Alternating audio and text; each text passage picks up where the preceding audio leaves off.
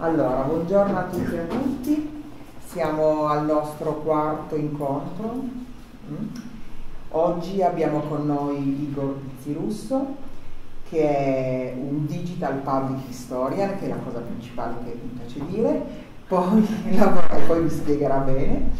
Poi eh, lui lavora all'Istituto Nazionale Parri, è nel direttivo di Pop History ed ha diciamo, messo a punto questo gioco ed è anche, anche specializzato in didattica del gioco e, di, e negli urban game. Adesso io lascio subito la parola a Gianni o vuoi dire qualcosa? Allora, prego. Ok, grazie. Perfetto.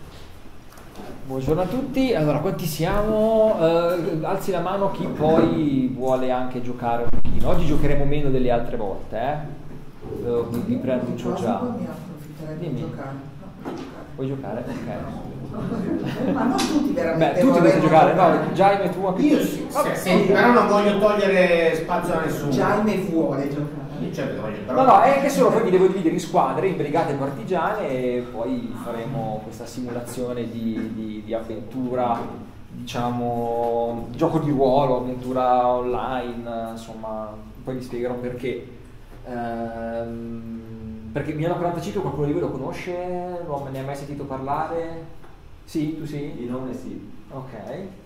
È un urban game Milano 45, che significa che per giocare alla, alla versione di Milano 45 dovremmo prendere un treno, andare a Milano e potremmo giocare a Milano 45. Altrimenti non si può, non si può giocare a questa, alla versione dell'urban game. Però ci sono delle alternative che abbiamo insomma, pensato e, e alle quali poi effettivamente eh, giocheremo. Io purtroppo non sono stato presente alle precedenti lezioni, non sono stato presente, magari mi sposto se una Maria non mi prende, non sono stato presente, non ho neanche potuto vedere i video, purtroppo gli chiedo scusa perché mi interesserebbe anche molto, ma ne, ne fa, la digital public storia ne ho mille mila e quindi faccio un po' fatica, no no, poi li recupererò. Quindi magari vi dico alcune cose adesso che più o meno voi già avete sentito nelle precedenti lezioni. Sostanzialmente il gioco, che caratteristiche ha un gioco? Fondamentalmente si possono identificare quattro caratteristiche che sono queste. Allora, la prima, deve, il gioco deve essere? Il primo. Spaventoso. No, deve essere volontario, non possiamo fare come l'enigmismo, come so, che prendeva le persone, le rinchiudeva in un posto e le costringeva a giocare. Quello non è un gioco, quella è un'altra forma di tortura, quindi il gioco deve essere volontario. Poi il gioco deve avere inizio e una fine, esattamente, quindi si deve sapere quando si inizia e quando si finisce. Ci sono alcune esperienze, soprattutto nel mondo digitale, in cui eh, si chiama dark play, in cui effettivamente i giocatori continuano a giocare anche dopo che teoricamente l'esperienza di gioco è finita e con delle ripercussioni psicologiche molto forti. Poi il gioco deve avere The winner. un vincitore, quindi degli obiettivi, no? degli obiettivi raggiunti quali o non raggiunti quali si determina la vittoria o la sconfitta che può essere contro il gioco oppure di un giocatore o di un gruppo di giocatori su un altro su altri. E poi la cosa più importante, il gioco, il gioco deve avere come? Regole. Deve, ma tu Enrica fare la secchiona della situazione. Io sì, perché queste cose per Deve avere delle regole che siano chiare fin dall'inizio, che non possono teoricamente modificarsi nel corso del gioco. Il gioco, tu hai detto, deve essere divertente Ecco, su questo io sono abbastanza però settato, nel senso sono dogmatico. Divertente in che senso? Cioè il gioco deve essere divertente che tutte le volte che si gioca, ah, ah che bello, stiamo divertendo? No, coinvolgente. Divertente, presa dall'etimologia latina, divergere, quindi portare altrove. Cioè il gioco deve essere un'esperienza coinvolgente che ci può anche far star male. Non so se voi avete mai giocato a un gioco, a un videogioco come The Town of Light che è ambientato nel manicomio di Volterra, è un gioco fortemente perturbante e disturbante, me personalmente mi ha fatto veramente cacare sotto, però insomma non, non, mi ha portato altrove decisamente. Perché il giocatore quando è immerso, quando gioca deve essere immerso in questo flow, nel flusso di gioco, quindi deve eh, dimenticarsi quasi del resto. No? Come è fatto un gioco? È fatto sostanzialmente da, quattro, da tre eh, elementi, eh, componenti, cornice narrativa e meccaniche dinamiche. Sostanzialmente questo è il triangolo dentro al quale deve stare il gioco, cioè è il triangolo del game design. Chi fa un gioco deve stare all'interno di questo triangolo, cioè poi, che poi può diventare una piramide con il quarto elemento necessario quando si fa un gioco, cornice narrativa, componenti meccaniche, cos'è che manca? Cos'è che realmente... Cioè, cioè, abbiamo queste tre cose, ok, poi come si gioca? Cos'è che fa partire un gioco? Il giocatore. Il giocatore. Bravo, il giocatore, esatto, esatto. Senza il giocatore il gioco sta lì e, e- e non funziona. Ok, esempio celeberrimo di gioco, risico. Qui dove sono le meccaniche, le dinamiche, la cornice narrativa? Proviamo un po' a vederle insieme. Ah, le meccaniche, dove, le componenti dove sono? La carta, i carmatini, ok, semplice. Le meccaniche dove sono, secondo voi? Nel modo in cui disposti nelle regioni. Ma che cos'è che determina le meccaniche del gioco? Il regolamento. Il regolamento ci spiega come funziona un gioco, le meccaniche del gioco. La cornice narrativa qual è? Conquista globale, il mondo è mio. Sostanzialmente sì, è un, un gioco di conquista globale. Ora io posso modificare uno di questi elementi, quindi cornice narrativa, componenti o anche alcuni di questi elementi e avere un prodotto ludico completamente diverso. no? Io qui modifico la cornice narrativa, che è quella del trono di spade, modifico in qualche modo anche i componenti perché non ci sono i cararmatini, ci sono i simbolini delle varie case nobiliari, però poi le meccaniche in realtà sono quelle del risico. Io qui potrei anche, che ne so, avere una cartina dell'Europa durante la guerra fredda, no?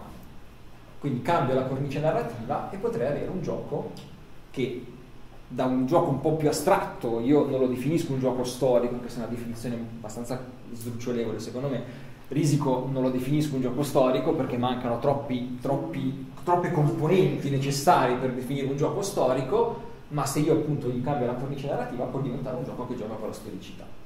L'importante è che quindi sia una narrazione coerente, immersiva, simulativa, cioè in cui il giocatore sia in grado di esercitare la propria agency, ovvero l'azione, determinando così attivamente lo sviluppo della trama. Ok? Domande su questo? Prima che passiamo al lo step successivo? Ok, andiamo invece nello specifico dei giochi di ruolo o RPG, cioè role playing game all'inglese.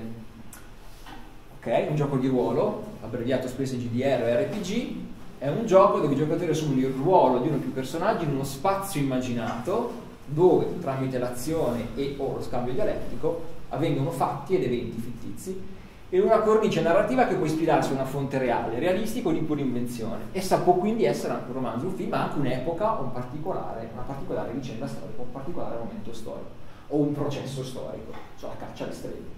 No? Le regole del gioco di ruolo indicano come, quando e in che misura ciascun giocatore può influenzare lo spazio immaginato.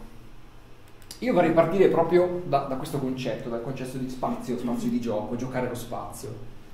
Partiamo da Wisinga, no?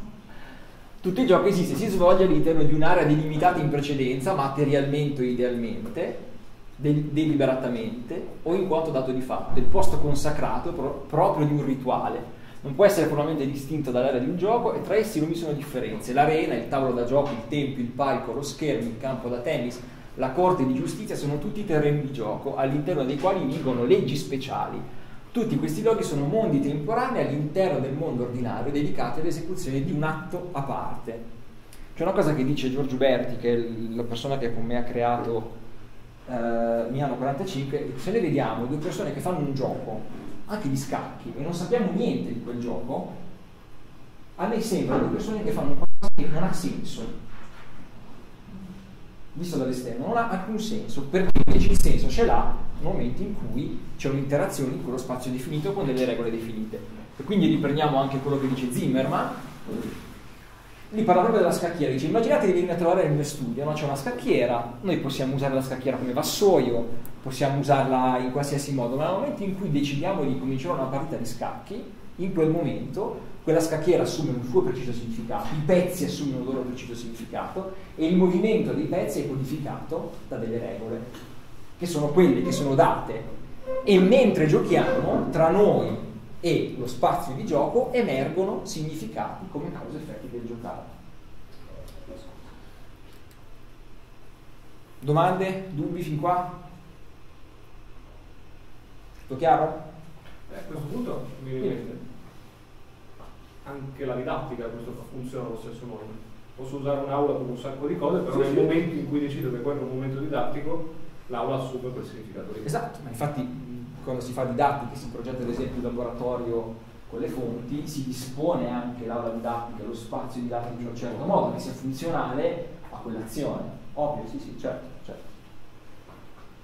Analizziamo invece il rapporto un po' più stretto tra giochi di ruolo e spazio di gioco, identificando quali sono le tipologie di gioco di ruolo. no? Abbiamo quello da tavolo, quindi lo spazio di gioco è in qualche modo un tavolo, comunque una stanza, ci sono carte, matite, dadi, eventualmente anche le miniature. Il gioco di ruolo dal vivo, eh, che hanno un approccio più recitativo, spesso si contaminano anche con la living history, non so se avete presente la living history, tipo rievocazione, utilizzo di figuranti in abito, in costume, perché loro ci tengono a dire abito, se dici costume si arrabbiano tantissimo. Perché si arrabbiano? Come? Perché si arrabbiano? Perché per loro, infatti io ho scritto di costume, ma ho sbagliato, è perché si chiama abito. Io ho fatto, sono andato a Rovigo alla Arnie Bagagli, alla fiera per conto di PH, e io due o tre volte ho detto costume perché non essendo del settore mi, mi è scappato e vedevo che subito si impermanivano. no? Eh, perché abito, abito. Costume è un travestimento, è qualcosa di poco serio. Invece abito dà l'idea della capito, però è della gente che va in giro visto da Pietro Mica, voglio dire, non è normale. Beh, Poi, se- guarda, a me se va benissimo, eh, però cioè, se vai se giro- da Pietro Mister, poi non è che ti puoi preoccupare se fai- uno dice che c'hai un costume. è scusa. responsabile di quello che sta dicendo, è responsabile lui, ci tengo a sottolinearlo davanti alle telecamere. No, è vero, ma forse Pietro Mica è anche poco, eh, c'è anche il peggio, intendiamoci. eh. Però eh, adesso tra l'altro sul sito di APH è uscito il glossario della, della rievocazione storica e infatti insistono proprio molto su questo concetto di abito e non costume. È la definizione loro, quindi noi ci uniformiamo. Sì, a me è successo che in una situazione di rievocazione storica era una compagnia teatrale, però ci tenevano che si chiamassero scenette. Eh, beh, Loro la non fanno- già loro non fanno un po', un scenette. po' più lo puoi capire che la scenetta effettivamente uno un po'... Abito la costume effettivamente è semantica, diciamo, però, però loro ci tengono, quindi noi ci, ci adeguiamo. E quindi lo spazio di gioco può essere preparato appositamente per immergere meglio i giocatori nella simulazione, ma anche no, non necessariamente. Diciamo che il gioco di ruolo dal vivo, l'ambientazione coerente aiuta l'immedesimazione, ma non è strettamente necessaria, come è il caso poi di appunto che vedremo di Milano 45. E poi c'è naturalmente il gioco di ruolo, videogioco online, ma non è materia del discorso di oggi. Gioco di ruolo da tavolo. Tutti quanti, spero conosciate la citazione visiva, no? Enrica ti vedo smarrita. Molto grave. Big Bang Theory. Big Bang Theory, Big Bang Theory è un Ah, telefilm. È il, è il telefilm che di fatto ha sdoganato la cultura nerd come una cosa fichissima e non più per emarginati, e infatti per questo noi tutti quanti un po' nerd lo amiamo. In questo particolare frangente stanno giocando a Dungeons and Dragons, quindi un gioco di ruolo da tavolo. Vedete c'è qui c'è Howard che fa il Dungeon Master, che quindi eh, governa un po' lo svolgimento della trama, gli altri che, che giocano e poi appunto c'è al centro, sul tavolo appunto, il- la, la cartina con le miniature. Eh, naturalmente può sembrare una cosa leggera il gioco da tavola, ma in realtà se vedete il manuale di Dungeons and Dragons ha un malloppetto alto così, quindi ogni interazione, ogni, ogni azione è assolutamente eh, codificata, regolata, le caratteristiche dei personaggi, insomma mh, c'è dello studio, insomma bisogna studiare prima di fare un gioco, un gioco di ruolo da tavola, non è che eh, lo, si, lo si fa così alla leggera. E poi un elemento fondamentale del gioco da tavolo sono i dadi, là, io che ho portato anche i miei, come vedete, che sono anche nuovi di pacca. Ci sono da- dadi di diverso tipo, c'è quello, questo cos'è il D20, no, questo è il D10, D12, D12, questo è il D20, eh, questo è un D8, no, D10, insomma, vari dadi, ognuno dei quali serve una precisa funzione tendenzialmente in un gioco di ruolo bisogna tirare un dado e fare un determinato punteggio per riuscire ad avere successo in un'azione. Naturalmente c'è anche un esempio di gioco di ruolo pseudo storico storico che è l'ex Arcana, non so se lo conoscete, l'avete mai sentito. L'ex Arcana è un gioco tipo Dungeons and Dragons che è ambientato mh, durante l'epoca romana, protagonista appunto è questa legione, però è un elemento, e questa è una caratteristica in realtà dei giochi di ruolo da tavolo, un, ele- un gioco che mescola la storicità con molti elementi fantasy. Girati. sì. che mescola la realtà con elementi fantasy. Il gioco di ruolo effettivamente da tavolo effettivamente è- nasce col fantasy, con Dungeons and Dragons e quindi le contaminazioni del fantasy e del fantastico sono, sono estremamente eh, frequenti. Però comunque è un gioco in cui c'è della storicità, volendo si può imparare qualcosa sulla storia romana anche giocando all'ex arcade. Passiamo ai giochi invece dal vivo, e cioè a giocare alla realtà, al gioco che diventa gioco pervasivo, no? appunto l'esperienza di gioco che si estende nel mondo reale, cioè il mondo fittizio si fonde con il mondo fisico e c'è una sovrapposizione tra area di gioco, appunto, all'ambito del gameplay, e mondo reale. L'interazione, appunto, avviene anche con il mondo reale. Quindi non c'è, appunto, come nel gioco di ruolo da tavolo, un tavolo, quindi uno spazio immaginato come può essere una scacchiera, ma è la realtà che diventa l'arena di gioco, lo spazio di gioco. E infatti in questo caso si, si parla di live action role playing, l'ARP. Qui vedete delle persone vestite, appunto, anche qui l'influenza fantasy è molto grande, qui c'è una sorta di elfo, credo che sia, un soldato, una creatura mostruosa tipo Demon, non lo so. Vabbè. Questo invece è un altro esempio. Questa sembra una foto d'epoca, vero? Sembra l'Inghilterra vittoriana o forse i primi del Novecento, no? Una foto dell'altro ieri, non lo so, insomma, dei giorni nostri. Questi sono appunto eh, delle persone che stavano facendo un gioco di ruolo dal vivo con un'ambientazione un po' steampunk, non so presente lo steampunk, insomma, quindi ambientato all'inizio del del Novecento ma con gli elementi di magia, scienza. Eh, sono ovviamente tutti quanti in Ah, Bravissima.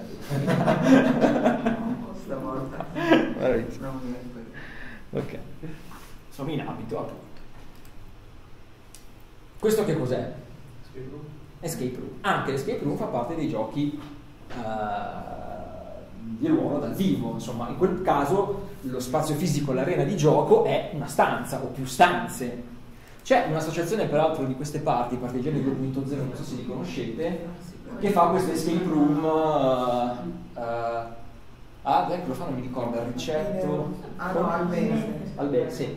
Sono, a- sono molto bravi, ho, conosciuto una di loro e è un'esperienza interessante. È- un escape room all'ambientazione storica, cioè l'obiettivo è fuggire da questo posto, scappare dai fascisti sostanzialmente, perché i i figuranti in abito appunto fanno l'interprete dei fascisti e i giocatori devono uscire da questo, da questo posto. Ok, eh, giocare la realtà però diventa anche un gioco pervasivo, soprattutto anche con l'utilizzo delle tecnologie, realtà aumentata o realtà virtuale, nei giochi Pokémon Go, avete presente Pokémon Go? Sì, persino io. Ecco, il Pokémon Go è un gioco pervasivo, si gioca la realtà in più con, con- con l'approccio, diciamo così, con l'aggiunta di strumenti tecnici che quindi in qualche modo aumentavano la realtà. Se io gioco lo spazio fisico della città, cioè l'obiettivo del mio gioco è spostarmi da un luogo all'altro di uno spazio urbano tendenzialmente, ma non solo, eh, e, e il completare il gioco è proprio dato dal mio spostarmi con successo nei luoghi corretti, si parla di gioco locativo, no? Quindi l'area di gioco è fusa con gli elementi di uno specifico paesaggio eh, e il gameplay è in larga parte orientato all'azione, quindi con attività connesse all'orientamento, come la risoluzione di prove, come scatti fotografici, risoluzioni di enigmi, tipo caccia al tesoro, insomma, no? Sì? Come? No, no, mi è venuto di dire una caccia al tesoro. Ah, esatto, sì, tipo la caccia al tesoro, cioè l'obiettivo, cioè il gioco si sviluppa spostandosi da un punto all'altro di uno spazio che può essere urbano, ma non necessariamente, può anche essere un bosco, per esempio, no? Eh, e naturalmente il gioco locativo urbano sfida la tradizionale logica dello spazio di gioco, influenza anche la percezione dello spazio circostante da parte dei giocatori.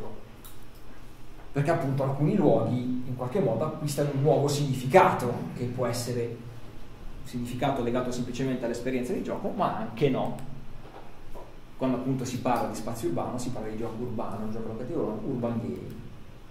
Ok, ho detto, nel gioco urbano e nel gioco locativo i luoghi possono assumere dei significati che sono legati all'esperienza di gioco in sé, ma anche no. Possono anche essere legati a significati del passato, quindi si parla di urban gain storico, cioè eh, i luoghi scelti nell'itinerario sono dei luoghi che sono scelti in base ai loro significati storici.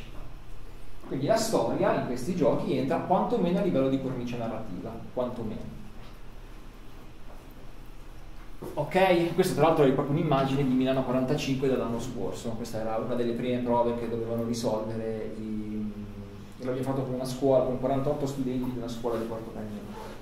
E una delle prime prove era mettere insieme i pezzi di una mappa per capire in che luogo dovevano recarsi. Eh, perché è importante parlare di gioco urbano storico? Perché è importante fare un gioco urbano storico? Perché i luoghi spesso sono oggetto appunto di, sediment- di sedimentazione, di stratificazione di, ci- di, significati che i cittadini nel corso degli anni gli hanno conferito, hanno conferito loro, o anche di una perdita di significato, nel senso che ci sono tanti luoghi legati alla quotidianità che nonostante rechino anche degli evidenti segni che raccontano la loro importanza storica, il loro legame col passato, non viene percepito questo legame. A Modena fanno sempre questo esempio della, della, ghirlandina, che è la torre, insomma, il campanile del Duomo, sotto c'è la lapide con tutti i volti dei partigiani, si trova sulla via Emilia, in una via di passaggio, molti cittadini modenesi ci passano sotto e quando gli chiedi ma cosa c'è alla base della ghirlandina? Ah, boh, sì, boh, non mi ricordo, non lo so. Quindi un luogo che pur avendo un segno è entrato talmente tanto nella consuetudine del, del, movimento, nel, nel, nel tessuto urbano che non viene percepito. In qualche caso ci sono anche luoghi che sono muti, cioè che non hanno segni. Vediamo qualche esempio adesso riferito a Milano 45. Allora, questo ovviamente non lo potete sapere che cos'è, lo dico io. Questo è il Palazzo del Credito Italiano. Si trova in Cordusio, siamo alle porte del Duomo praticamente.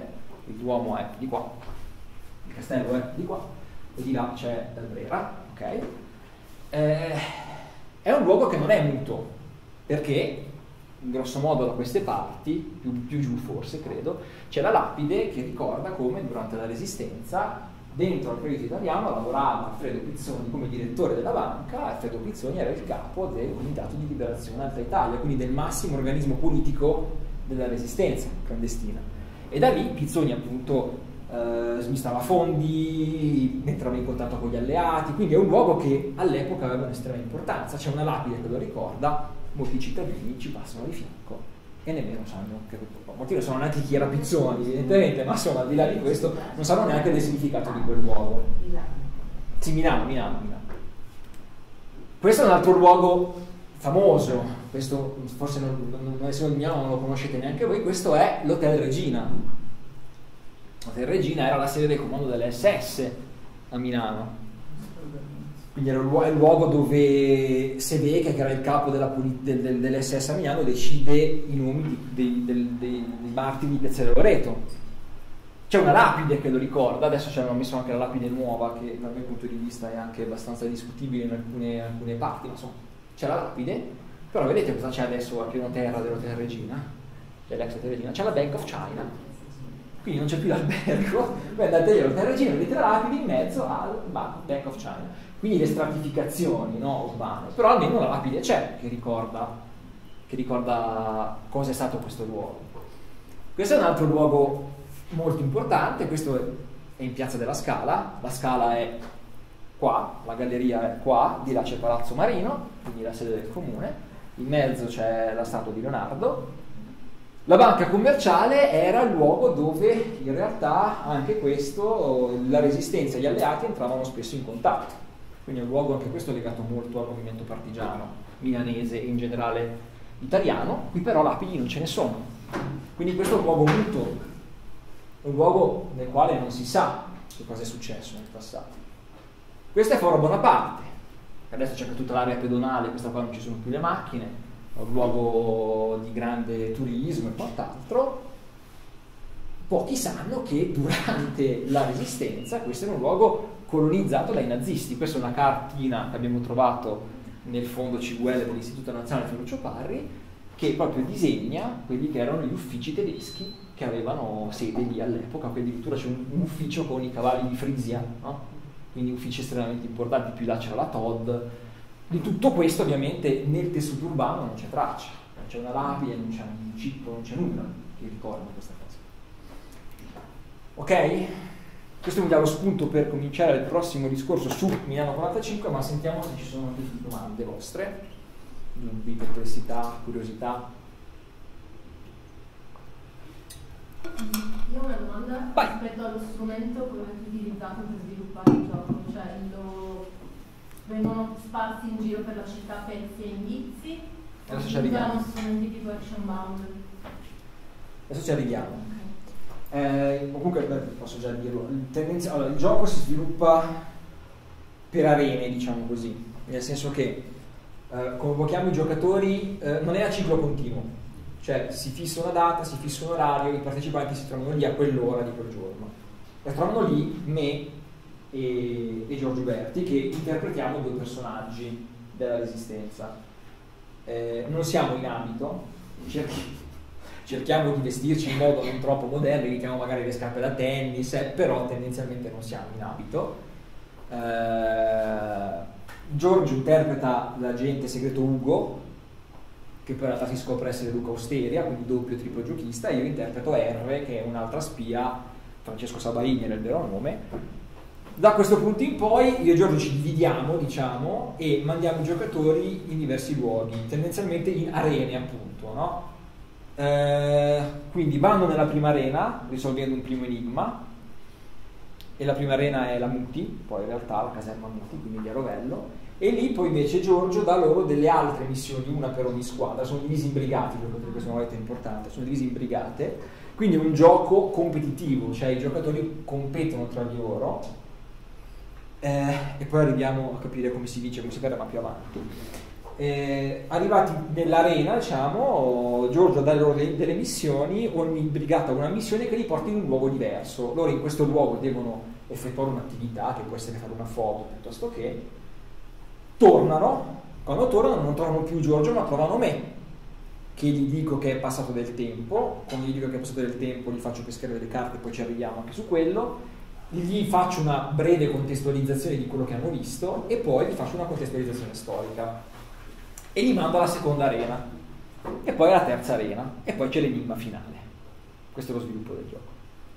È diverso per esempio invece da un altro game che ha fatto Pop History che è I Resistenti, che si svolge a Modena sempre sulla resistenza, anche di questo poi parliamo, che invece è un gioco che si svolge a ciclo continuo, cioè le persone vanno nel punto di inizio, gli viene data la missione, poi man mano interagiscono su WhatsApp e gli vengono assegnate le missioni successive. Io eccepisco sul fatto che e che resistenti sia un gioco per un semplice fatto che vincono tutti, non è possibile perdere. Nel senso che se sei troppo in difficoltà ti danno l'indizio, non c'è un ordine d'arrivo perché essendo a ciclo continuo io inizio prima, naturalmente finirò prima di chi è arrivato un'ora dopo. No? Quindi mancando il senso di vittoria e di sconfitta, manca una delle quattro caratteristiche che abbiamo visto prima del gioco. Mentre in Milano 45, anche se tutti quanti concorrono alla missione, che è sostanzialmente liberare Ferruccio Parri, c'è una brigata che vince, che è quella che accumula più punti. Poi vediamo cosa sono questi punti. Ok? Altre domande? Documenti d'archivio, io vi ho fatto vedere questa non a caso, perché i documenti d'archivio Milano 45 hanno un'importanza enorme. Prima importanza, ricerca storica, cioè per fare Milano 45 io ho visto qualcosa come 200 fascicoli d'archivio del fondo CVL, una ricerca che è durata due mesi, a cercare carte, a cercare anche elementi che potessero chiarire meglio cosa si era mosso, perché il gioco sostanzialmente appunto parte con l'arresto di Parri il 3 gennaio 45 e quindi l'obiettivo dei giocatori è liberare Ferruccio Parri. E io ho cercato nelle carte anche per capire che cosa effettivamente si è tentato e poi la grande storia non lo ha riportato per liberare Ferruccio Parri. Eh, cercare appunto di sfruttare le pieghe no, della storia, le zone grigie il più possibile. E quindi questo è sicuramente prima, un primo elemento importante, una prima modalità importante in cui i, i documenti sono stati usati. La seconda, lo sviluppo è svolto nella trama. Io prima gli ho detto, no? convochiamo i giocatori a un certo punto e gli diciamo delle cose, gli diamo una missione, ma su che base? Sulla base del documento. Cioè quando noi gli diciamo a un certo punto dovete recuperare i piani militari che pare era con sé quando è stato arrestato, non è che io lo dico io perché su sensibilità, no, gli diamo una copia ovviamente, non l'originale, se no l'archivista mi fa un mazzo a tarallo, ma insomma una copia del documento originale che dice no? È proprio questo il documento, peraltro del 4 gennaio 45. Questi piani sono andati smarriti, quindi c'è il documento che aiuta a dare le svolte della trama, accelerare e a dare le missioni. Terzo, i documenti sono elementi di gioco e questo oggi voi lo farete con me. Noi abbiamo usato i codici cifrati partigiani originali per far decifrare dei messaggi ai giocatori e farli spostare da un luogo piuttosto che da un altro. Quindi sono tre livelli. Di entrare nel game design, domande su questo? Tutto chiaro? A livello di game design, ecco qui vi faccio un attimo un parallelismo tra i key resistenti e Milano 45 per capire anche come abbiamo proceduto. Allora, i key resistenti ha come protagonista Irma, che è una staffetta, è un personaggio immaginario ma comunque verosimile. Milano 45, in realtà come protagonista è Ferruccio Pari, cioè i protagonisti sono i giocatori, però la missione è liberare Ferruccio Pari. Allora è chiaro che se tu fai un gioco sulla biografia di un personaggio noto, e tu puoi inventare poco potresti anche farlo, ma se vuoi fare un gioco che sia aderente alla storicità, puoi inventare poco. Puoi sfruttare le zone grigie, ma insomma fare un gioco sulla vita di Ferruccio Pari, Ferruccio Pari ha fatto questo, questo e quest'altro. Mi ricordo Glauco Babini che avete conosciuto, quando noi abbiamo detto, no, abbiamo fatto un gioco su Ferruccio Pari, mi hanno 45 fa, ah che bello, lo facciamo anche a Modena. No, Pari non è mai stato a Modena, come faccio a fare un gioco su Ferruccio Pari a Modena? No? Ok, è chiaro che se noi proviamo a seguire il percorso di una biografia, di una vita all'interno di un tessuto urbano, eh, rischia di diventare un po' complicato. Parri viveva prima in un luogo, poi in un altro, poi si è spostato in un altro quando è entrato in clandestinità, lavorava lì, poi lavorava là. Eh, se non c'è una narrazione coerente a legare tutti quanti questi luoghi, eh, il, il giocatore si disorienta. No? D'altro canto dobbiamo anche evitare l'altro effetto, l'effetto opposto, cioè l'effetto visita guidata. No? Ah sì, ma andiamo in questo posto, pare è stato qui, ah che bello, facciamo le foto, allora finito. No. Cioè sono due tendenze contrapposte che vanno sempre bilanciate quando si fanno urban game storici. Appunto perché la narrazione deve essere... C'è poi un altro problema, scusate, il campanilismo qui prende possesso di me, ma Milano è una Milano, cioè Milano, ma come anche Torino, sono città che hanno delle dimensioni importanti. Fare un urban game a Modena, nei luoghi più significativi della resistenza, è facile. Io faccio il giro di Modena in macchina in un quarto d'ora, cioè una volta ricordo quando vivevo lì, ho detto, ah no sì, eh, no, ah, c'era un parcheggio lì dietro, vabbè dai, facciamo il giro del centro, quanto ci impieghiamo? Ma sì, 10 minuti siamo di nuovo qua. E infatti dopo 10 minuti eravamo lì e fatto il parcheggio. Falla a Milano il giro del centro, vedi quanto ci vuoi, no? Cioè le dimensioni della città sono le dimensioni dell'arena di gioco, dello spazio di gioco. È chiaro che in una città più grande è la città, più l'arena di gioco deve essere ristretta ad alcuni luoghi, non li puoi prendere tutti. Per esempio far andare i giocatori a San Vittore, che si trova rispetto al centro distante 4 km, 5 km a piedi, era un po' complicato. Quindi per tutto questo abbiamo deciso di non fare un gioco appunto sulla vita di Ferruccio Pari, ma su un particolare avvenimento della sua vita, cioè l'arresto e la liberazione, perché effettivamente è una trama vincente di per sé come una spy story, no? se andiamo ad analizzare gli attori in campo, eh, quello che si voleva fare, quello che si è tentato, quello che non si è riuscito, sembra effettivamente la trama di un film di 007. Perché c'è un'altra motivazione dei giocatori, no? ci dice che devono liberare un personaggio importante, che peraltro i giocatori sono partigiani delle formazioni GL, quindi devono liberare di fatto il loro comandante. E poi appunto è una vicenda che comunque permette di toccare, anche con alcune scelte diciamo un po' azzardate, tutti i luoghi, i luoghi più importanti di quel periodo. Ad esempio alla Muti, Parli non va alla Muti, non viene mai incarcerato alla Muti, lo portano direttamente a San Vittore. Però noi li facciamo andare alla Muti con che scusa? Gli facciamo vedere un documento in cui dice che a gennaio del 45 la Muti era attiva nelle perquisizioni in casa, Pari viene arrestato in una perquisizione in casa, quindi boh, potrebbe essere, andate, vedete se è lì. Quindi rendiamo plausibile anche l'inserimento di un luogo che non necessariamente era legato alla sua, alla sua, uh, al suo arresto. Ok. Per quello che vi ho detto adesso, sostanzialmente dove c'è la storicità nel triangolo del game design? Il tema, ok. Nelle componenti c'è la storicità? Sui documenti, quindi c'è. Nelle meccaniche, ma quello che vi ho detto fino adesso non tanto. E invece ne abbiamo voluto inserire la storicità anche nelle dinamiche, perché siamo proprio delle teste di storici.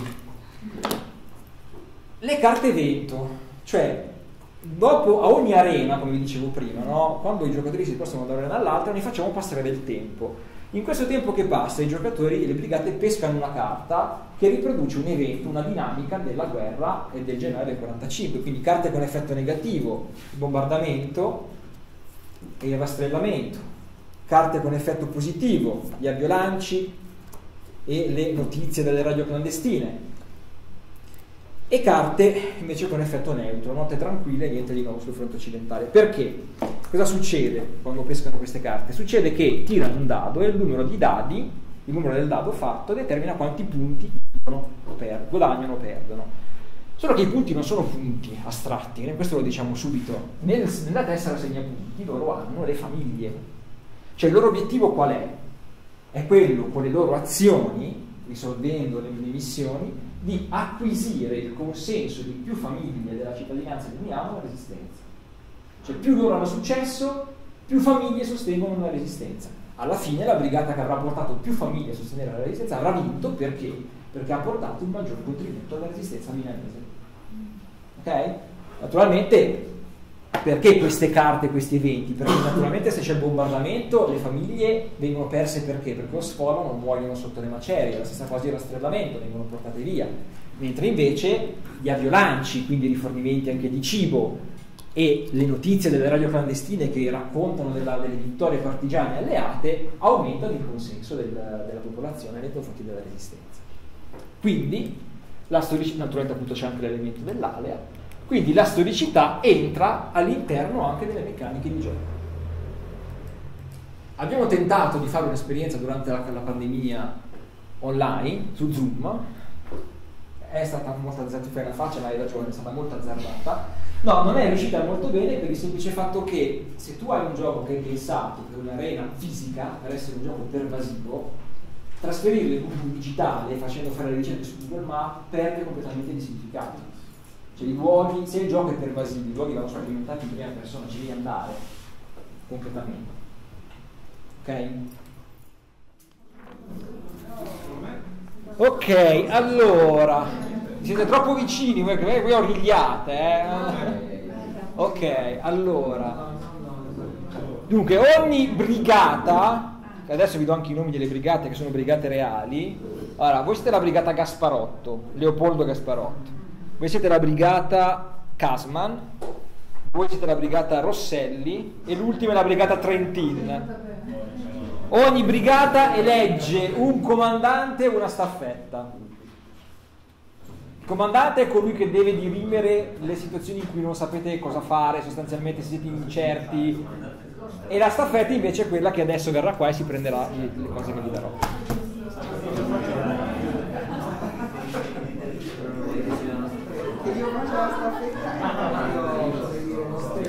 Diciamo che ti tocca fare la staffetta. Dipende poi. Sì. Io so, voi decidete chi è io so la staffetta.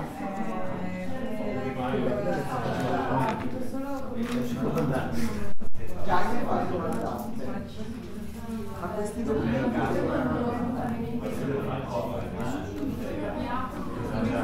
Quante sono?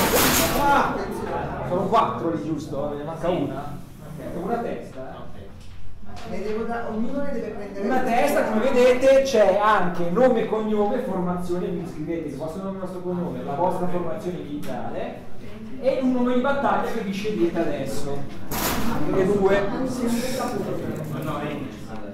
In realtà questa, questa cosa qua riproduce la tesserina partig- originale che noi diamo durante il gioco, che è questa. Non ve le potevo dare tutte perché non- la scansione temporale è diversa in questa, in questa fase, ma... Nome di battaglia, Non hai visto? Scusate un attimo, nome di battaglia sembra una banalità e anche i ragazzi cui facciamo il gioco di solito lo interpretano con molta leggerezza. In realtà il nome di battaglia era fondamentale su due motivi. Uno, nascondere l'identità, quindi scegliete un nome che non abbia a che fare con quello che è il loro vostro vero nome. Cioè, io per Anita B.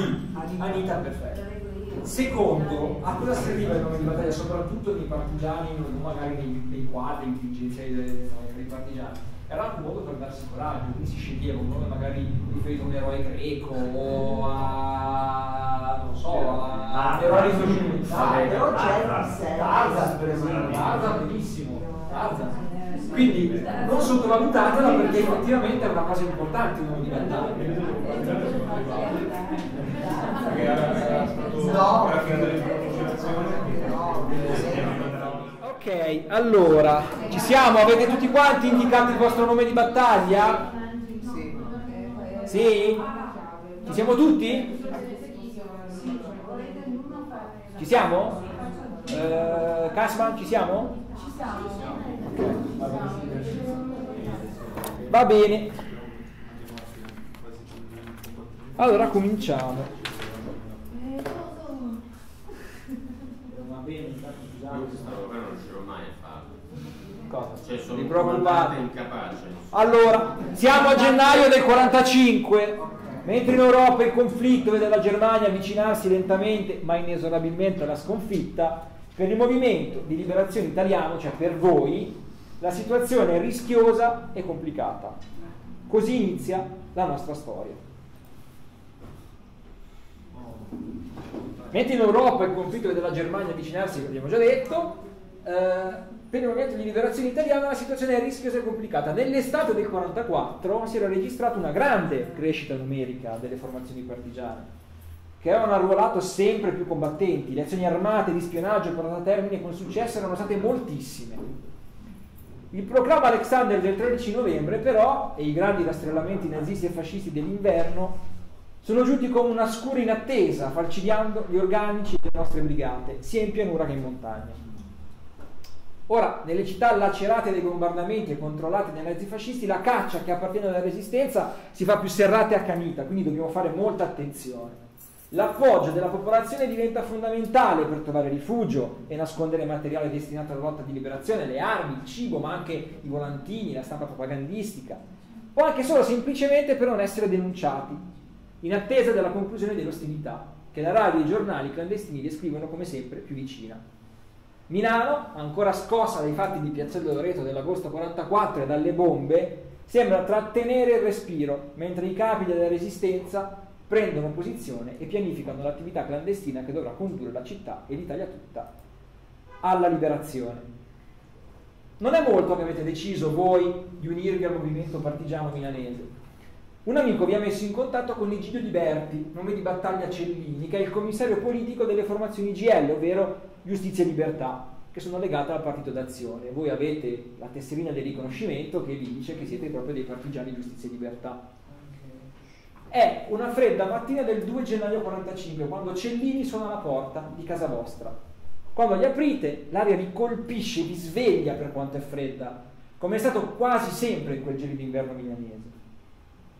Maurizio ti ha convocato, il commissario non ti dice altro mentre ti porge un plico.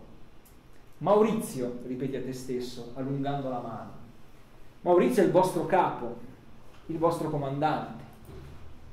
Apriamo questo plico, guardate questo plico e ditemi dove dobbiamo andare.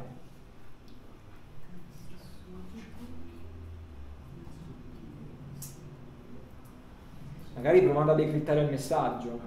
Eh sì, sì, ti sto provando. Perché non deve essere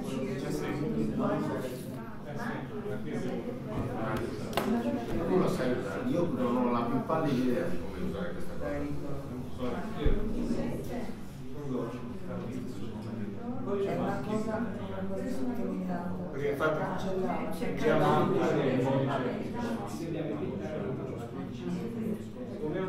Ah, ovviamente potete usare mio smartphone eh, per trovare la soluzione. Eh.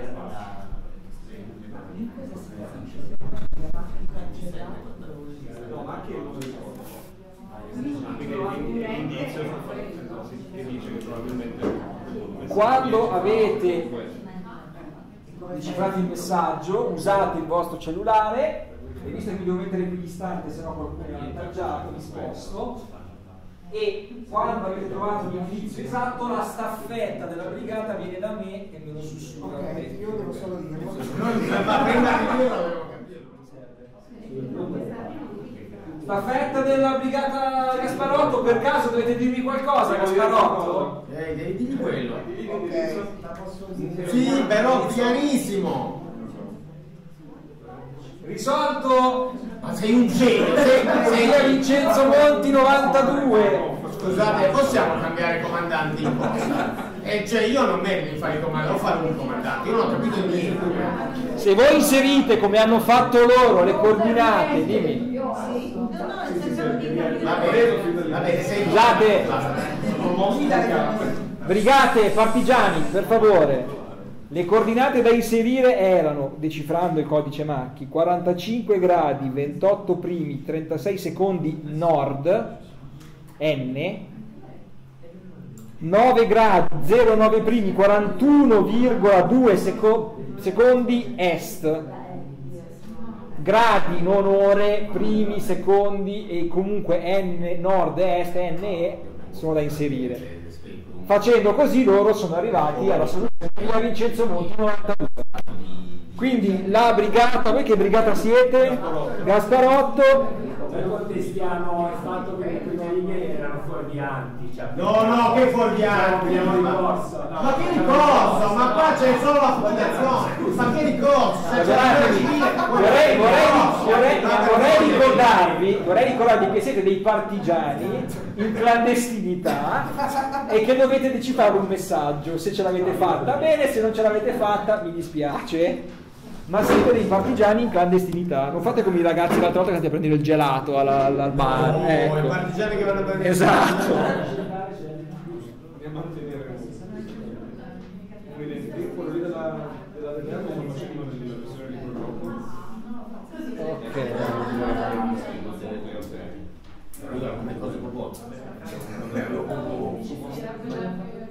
Cioè, proprio non avevi idea di che cosa. Il ancora più difficile però è quello su Eh no, quello l'ho fatto. Quello mi sono. non ci sono alcune che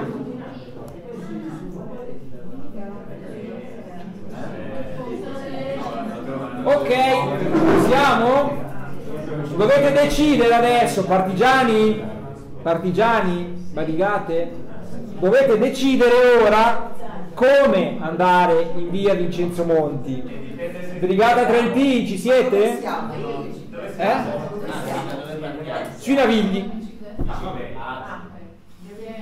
appunto, voglio Io dire. andrei. Andiamo lì. Ma io andrei in bici. Se ci avete dei dubbi, il comandante decide o votate. Se- Lontano, mediamente lontano ma non lontanissimo. Si può andare con agio sia in tram che in bici che a piedi.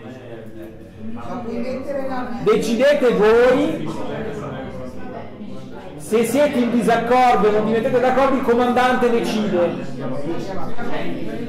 Noi abbiamo deciso. Ok? Comandate voi? A piedi. Per capire se potete andare a piedi, un tiro di dado da 2 a 6 va bene. Uguale, comandante. Allora, che dobbiamo fare? Da 2 a 6, è lì. Ah, questo. 6. 6, perfetto. Sono 54 km. 54 km. Brigata Casman come andate voi? Bicicletta. ok. Per capire se riuscite ad andare in bicicletta dovete tirare un dado e dovete fare da 1 a 4. Da 1 a 4. Intanto cominciate a venire anche voi se avete deciso. Uguale. 4. Perfetto.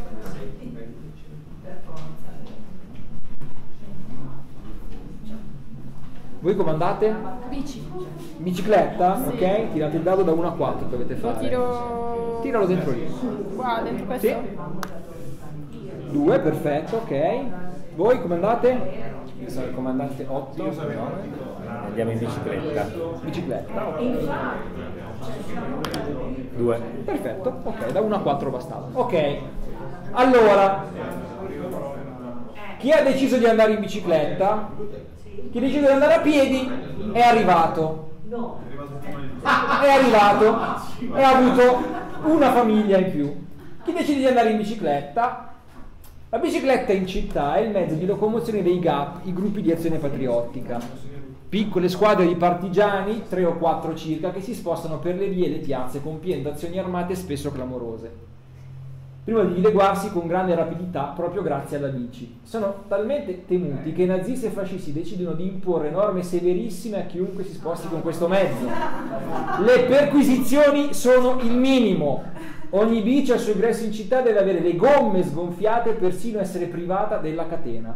Non avete scelto il metodo migliore per raggiungere la vostra destinazione. Potete decidere di continuare in bici o proseguire a piedi. Cioè, Decidete. idea. Potete cambiare idea. Punto. Continuate in bici. Allora, la Rosselli continua in bici, Casma? No, siamo, noi continuiamo. No, scusa, Trentin continua in bici, scusate, tre Rosselli. Casma avete deciso?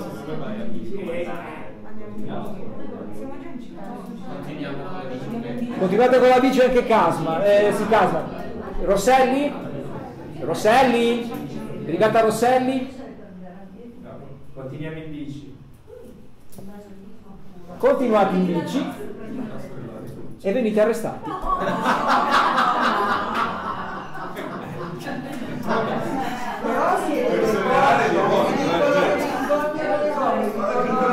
Quindi avete perso tutte e tre le brigate, due famiglie, quindi loro hanno già vinto praticamente.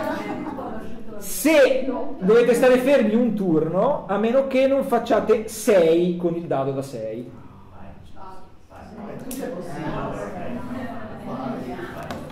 Diciamo così, va? Questa cosa c'è anche nel quando lo si fa fisicamente. Ecco. Uno. No, però mettilo giù così non funzionerà mai. 4.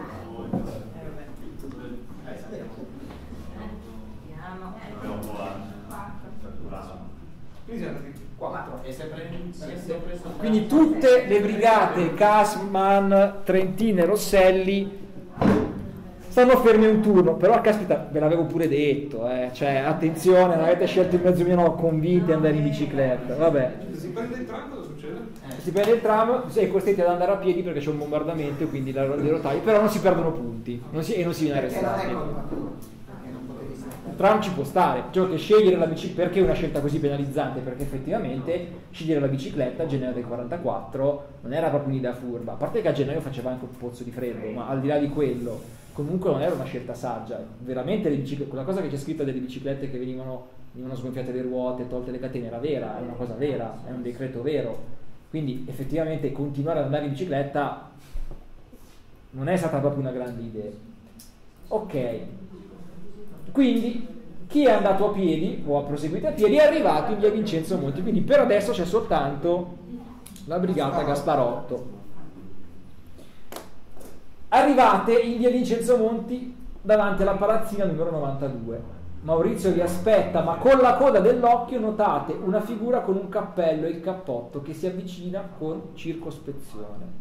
Avete poche scelte, cosa fate? Vi fidate aspettate? Non vi fidate andate via oppure entrate nel palazzo? Scegliete solo loro devono scegliere, voi siete fermi. Potrebbe essere un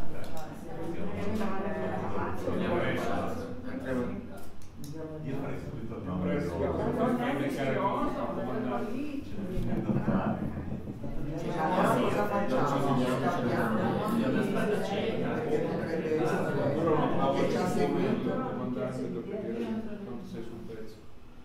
Veloci, se no non finiamo più.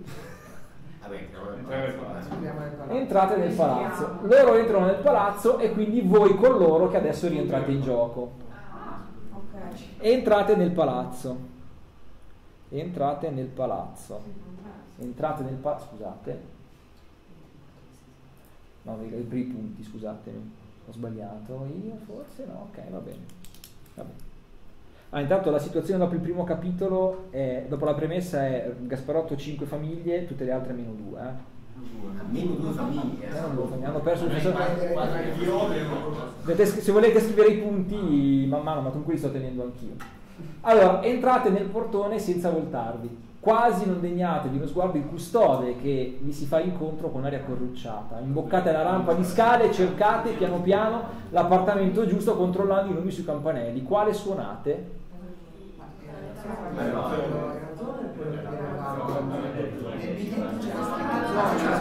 Decidete e ditemi cosa fate.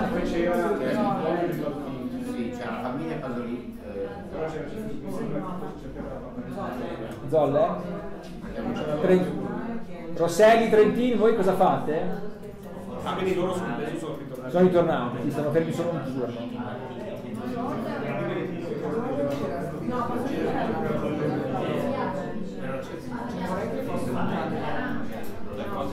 Veloci! Zoller.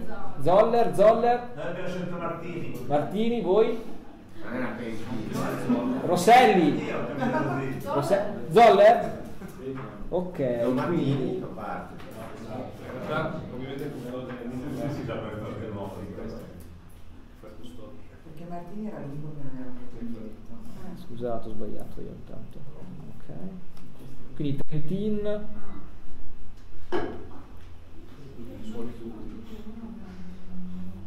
Allora, visto che evidentemente Zoller era la risposta giusta, vediamo cosa è successo alla brigata Trentin.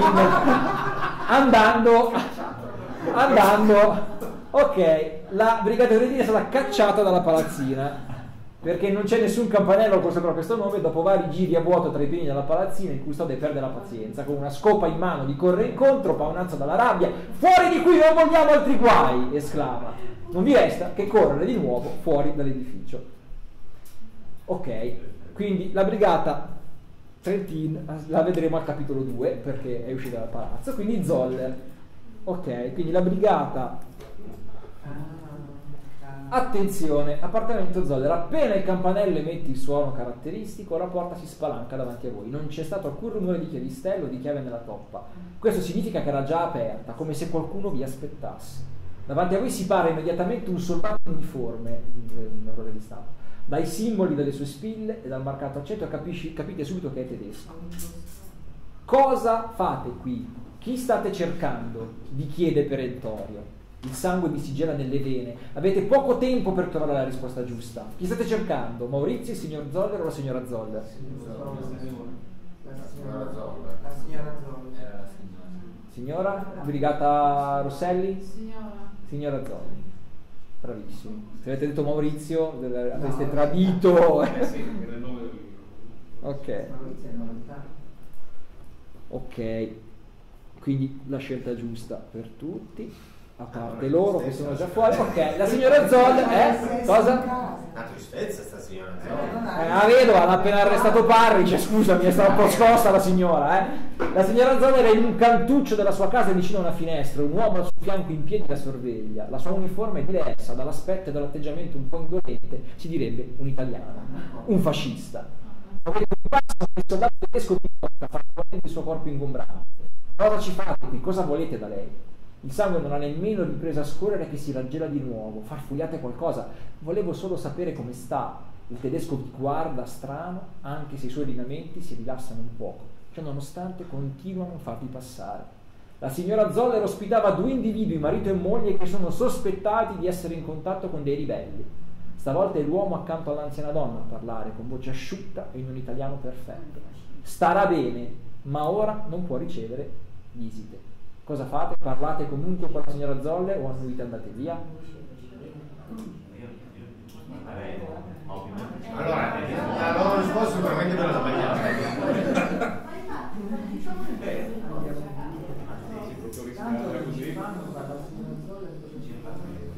Veloci, eh, ci avete un nazista davanti, eh, quindi dovete decidere in fretta. Voi siete fuori, siete... E voi avete, avete suonato il campanello sbagliato. Andate via, voi? Andate via, eh, Rosselli? Cosa? Parlate? Non è stata una buona idea. Parlare vi ha fatto arrestare. Se tirate, se venite qui e tirate il dado da 6, forse potete riuscire a liberarvi.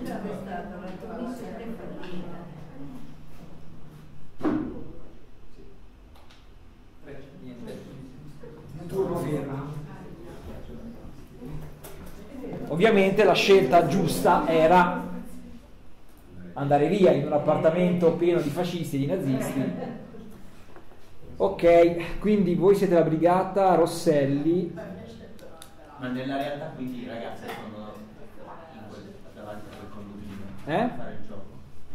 No, perché Vincenzo Monti è lontano. No, questa, siccome è un'esperienza online, questa che usiamo a livello didattico soprattutto, abbiamo introdotto in queste specie, ho introdotto in questa esperienza molti degli elementi che non abbiamo potuto mettere nel gioco urbano, evidentemente. Anche per non fare spoiler sul gioco urbano, particolarmente, perché sennò uno va lì, la vede e se la Ma guarda. è quello che avete fatto nella pandemia? Questo qui è l'altro, no, quello era su Zoom, questo è stato un altro pezzo che abbiamo fatto nella pandemia che poi ho raffinato successivamente e con alcun, due, un paio di cose aggiunte proprio apposta per oggi, per riuscire a renderlo più, più, più gioco di ruolo. Ok, siamo davanti all'appartamento a via Vincenzo Monti, quindi la brigata Trentin rientra in gioco perché sono lì davanti, la brigata Rosselli sta ferma a questo turno, la misteriosa figura, quella che avevate visto da prima, che dove avreste fatto meglio forse ad aspettare, si avvicina, a un metro da voi si ferma, con calma si accende un sigaro. Voi siete quelli nuovi, vi dice, io sono R. Fa una pausa prendendo una gran boccata di fumo. Siete qui per vedere Maurizio, ma non ci riuscirete, lo hanno appena catturato. R fa una pausa, il silenzio è tombale. Maurizio è il nome di battaglia di Ferruccio Pari, il comandante delle formazioni Giustizia e Libertà e vice capo militare della Resistenza, ma questo già dovreste saperlo. Tira un'altra boccata e prosegue. Gli avevamo trovato una sistemazione in via Marcona 103, ma la casa non aveva stufa e per qualche giorno lui e sua moglie si sono fermati dalla vedova Zoller sotto il falso nome di Pasolini. Nello stesso palazzo abbiamo sistemato anche due partigiani, sono loro che i nazifascisti cercavano. Ci hanno tradito? chiedete voi istintivamente. No, assolutamente. Purtroppo però uno dei due, Martino, ha incautamente confessato di essere in rapporti con gli inquilini dell'appartamento della signora Zoller. Questo naturalmente è un crimine. Essere in contatto con dei sospetti ribelli è un crimine, appunto. I tedeschi hanno quindi prelevato sia Parri che sua moglie. Per fortuna non credo che li abbiano identificati, non ci sono molte foto di Maurizio in giro, una delle poche ce l'avete voi in realtà. Cosa facciamo? Andate via o chiediamo di più a R?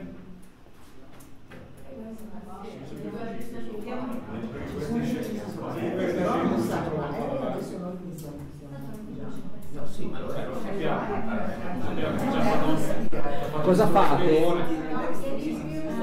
noi chiediamo di più. chiedete di più? I Rosselli? Chiedete di più? Andate via. Allora, Rosselli non può partecipare, scusate. Eh, chiede di più, voi chiedete di più, Gasparotto? Gasparotto andate via? Gasparotto va via. Ha abbandonato la missione. Vabbè, però abbiamo un sacco di punti. Quindi Gasparotto e state fermi un turno.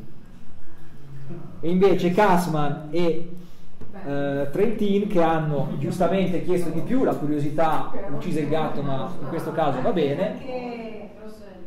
La- Rosselli non poteva giocare alla precedente perché eravate fermi, adesso è entrati in gioco.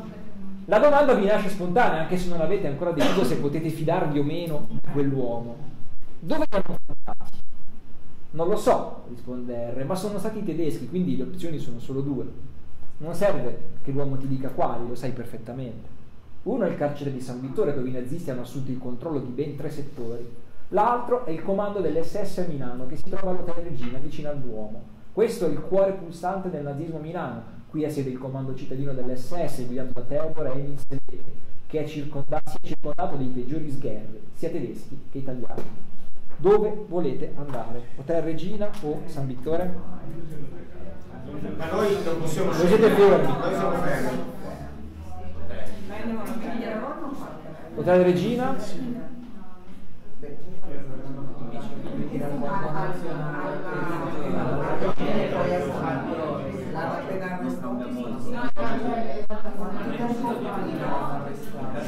Rosselli e Trentin cosa fate?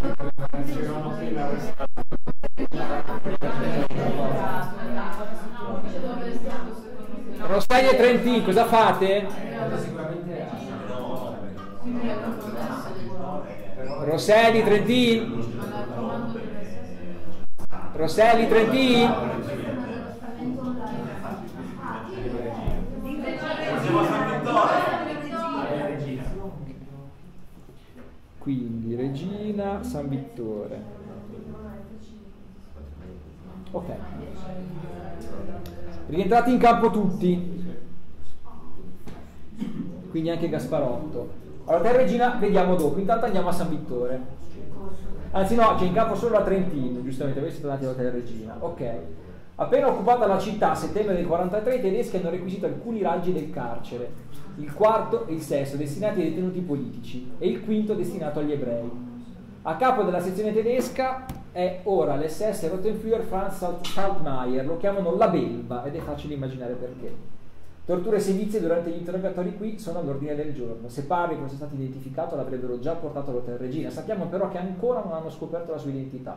È quindi molto probabile, per non dire certo, che non hanno ancora scoperto la sua identità. No, per probabile è che lo tengono qui come un qualunque potenziale cancellatore dei partigiani. Tedeschi non hanno ancora capito che hanno tra le mani. Provate a intrufolarti o vi appostate? Solo la Trentina, perché solo la Trentina è andata a San Vittore, quindi solo la Trentina. Ci appostiamo. Scusate perché non mi, ricordo tutto, quindi devo un attimo... Non siamo riusciti a entrare a casa Zoller e entrare nel carcere ci sembra un po'... Ma anche perché sareste stati arrestati, stati al carcere. Ok. Esatto. Quindi vi appostate. Sì, sì, ci Ok, però facciamo che, ok, tra- un tram da San Vittore. Quindi vi appostate, hotel in San Vittore. Ora giochiamo anche noi. No, no. All'hotel Regina ci sono solo loro, cioè al San Vittore ci sono solo loro. Quindi. Per tre giorni attendete in vano che accada qualcosa, che qualcuno vi dia istruzioni. L'inverno è freddo, ma, compa- ma un compagno d'armi vi ospita in una casa che affaccia sul carcere. Nei pressi del muro di cinta c'è sempre movimento, i tram si fermano e ripartono sferragliando, sotto la strettissima sorveglianza dei soldati tedeschi. Avete quasi perso la speranza quando qualcosa attira la vostra attenzione. È la mattina del 5 gennaio alla fermata del tram. Notate due soldati tedeschi. Intorno a loro ci sono alcune persone, ma una di loro in particolare attira la vostra attenzione. Il suo volto vi è noto. Quale di questi tre volti vi è noto? Quello al centro?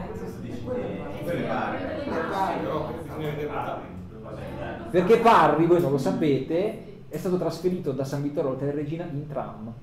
È una cosa vera questa, riproduce una cosa vera. Poi è stato trasferito in tram, come se fosse appunto un detenuto qualsiasi. Perché ancora non Perché l'avevano non avevano capito. non l'avevano ancora riconosciuto. Esatto. Bravi Trentini, state rimontando con questa. con questa. Ma certo, è Ferruccio Parri, possibile che i tedeschi li stiano trasportando in un altro posto in tram?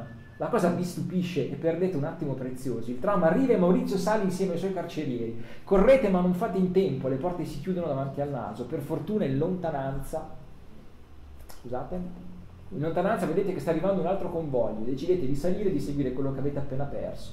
Incollate la faccia al finestrino, attenti a tutto ciò che si muove sul marciapiede. Siete tesi, avete la gola secca, sperate di tempo, di avere tempo a sufficienza per notare l'esatta fermata alla quale Parri verrà fatto scendere. Io devo controllare una cosa però, scusate.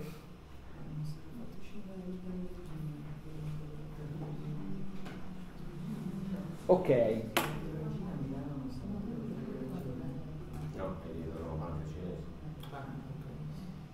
ok, siamo alla Teregina, però qui, come si dice, nel frattempo, quelli che erano andati all'Hotel Regina, cosa è successo? Quindi vediamo poi l'Hotel Regina, dunque eravamo, eravamo a chiedi di più. Qualcuno è andato all'Hotel Regina, chi è che è andato all'Hotel Regina? Noi. No, noi non siamo andati. Voi, voi recuperate qui l'Hotel Regina, entrate in campo Noi siamo all'Hotel Regina. Sì, quindi entrate in campo anche voi. Eccolo il cuore pulsante del nazismo milano, l'Hotel Regina. Cercate di non avvicinarvi troppo per evitare che le sentinelle vi aggrediscano. Da dove vi fermate non riuscite comunque a capire granché. A un angolo della strada, poco lontano, vedete ancora R. Cauti vi avvicinate. Non è qui, vi dice lui semplicemente. Come lo sapete? domandate distinto. R sorride. Ho le mie fonti, risponde. Per i tedeschi padre e sua moglie sono ancora i coniugi Pasolini, sono sicuramente a San Vittore, ma può essere che li trasferiscano qui nei prossimi giorni. Voi che siete l'hotel Regina, cosa fate? Vi appostate e andate a San Vittore? Sapete che sta arrivando e quindi vi appostate, esattamente. Ok. Per. Ma se non hai saputo trovare un campanello, ma vergogna.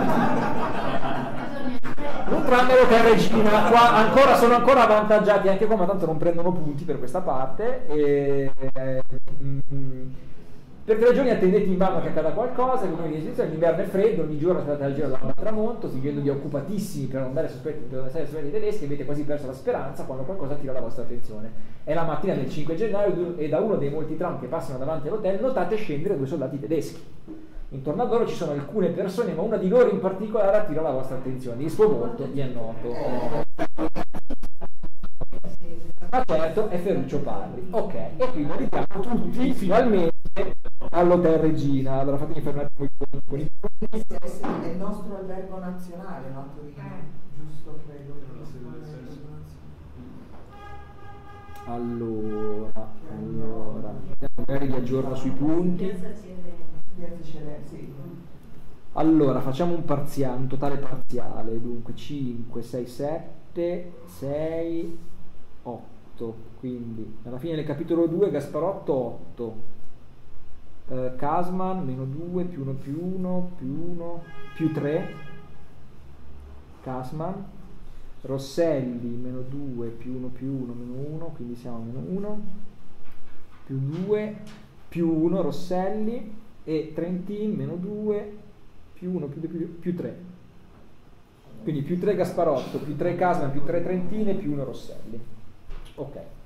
Siamo all'Hotel Regina provate un brivido mentre osservate Maurizio varcare la soglia dell'edificio sempre accompagnato dai due gendarmi lo avete sentito dire molte volte l'Hotel Regina è il cuore pulsante del nazismo a Milano non sapete cosa fare seguite Parri aspettate mentre decidete vi si avvicina una figura nota se stai pensando di entrare lì dentro, scordatelo, ti dice R.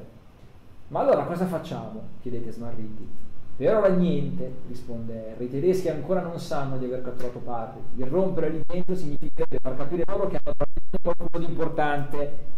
E poi c'è un'altra missione che vi aspetta. Vi porge un documento. Cosa fate? Lo prendete o rifiutate? Lo prendiamo. Lo prendete, Gasparotto lo prende, Casman lo prende, Anche Rosselli. anche Rosselli, Trentin. Eh, Trentino, mi fate altre cazzate che ne avete già fatte oh, Lo prendete perché se l'aveste rifiutato avreste rinunciato alle rifiuto. Ok, i piani militari. Oh, questo è il documento che dice che Pari aveva con sé un incartamento quando è stato arrestato, quindi bisogna recuperare quei documenti. È un documento di ieri, dice il 5 gennaio, sappiamo il documento, se vedete, è datato 4 gennaio 45. A quanto pare non abbiamo trovato l'incartamento segreto che Pari aveva in casa e che stava consultando mentre è stato arrestato. Lo hanno preso i tedeschi e i fascisti, chiedete.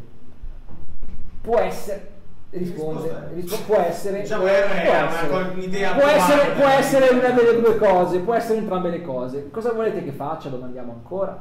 Trovate quelle carte, gli originali, se possibile, o delle copie, mandate dai nostri nemici, trafugatevi dai nazisti, non lo so. Dobbiamo riavere quei documenti. Ci sono informazioni sui rifornimenti alleati, mappe, codici.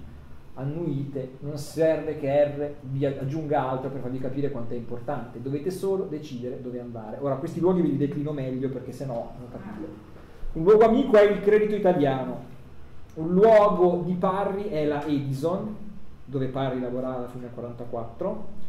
Un luogo nemico è Foro Bonaparte, avete visto la cartina prima del perché. Un luogo noto è invece via Vincenzo Monti. Dove volete andare?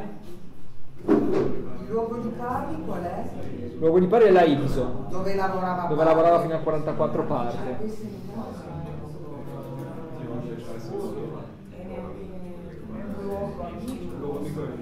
Tanto la brigata Rosselli è rimasta senza un componente. Noi abbiamo deciso.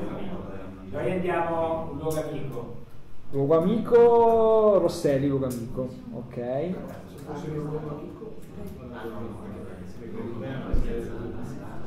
Poi? Trentin, Casman, Gasparotto?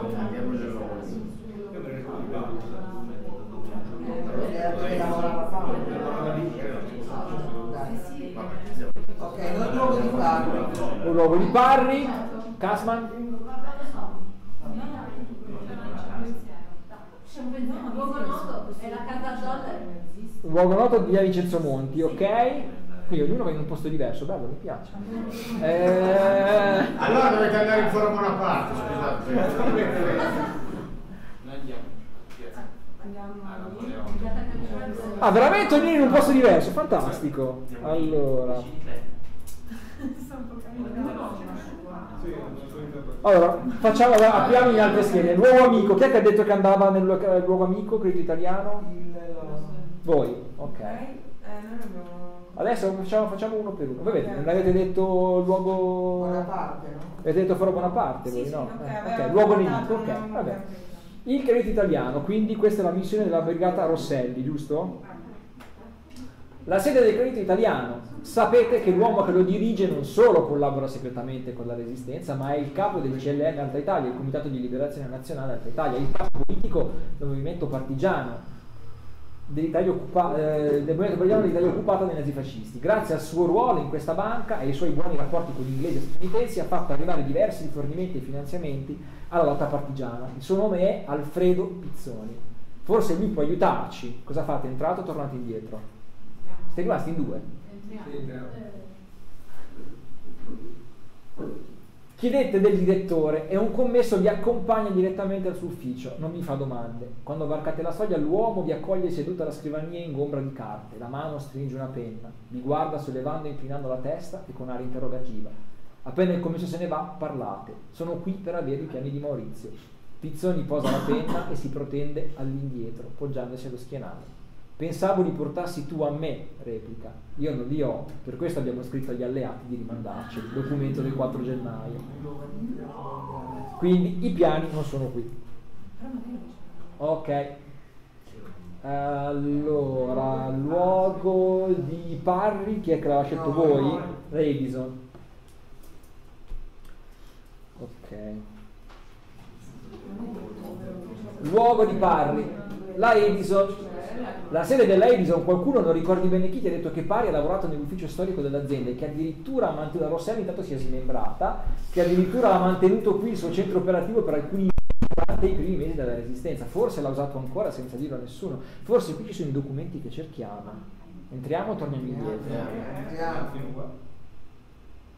Con discrezione fate un giro tra gli uffici, tantissima gente al lavoro a causa della guerra, quindi riuscite ad arrivare a quello di Parri senza difficoltà.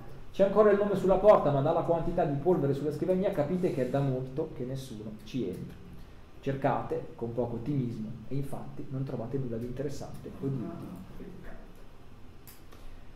Voi siete Gasparotto, ok. Eh, dunque, invece la Casman aveva detto luogo nemico.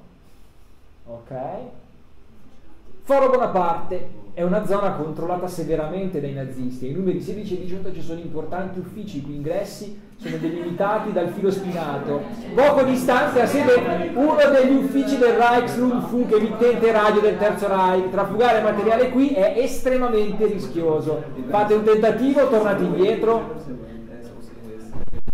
E dai, io sono più per la seconda. Facciamo un tentativo, noi non siamo pronti a morire.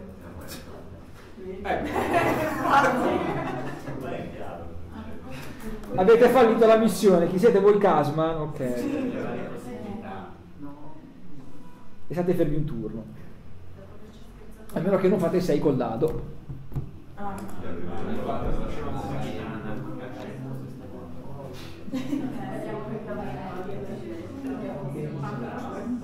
Esatto. Ok.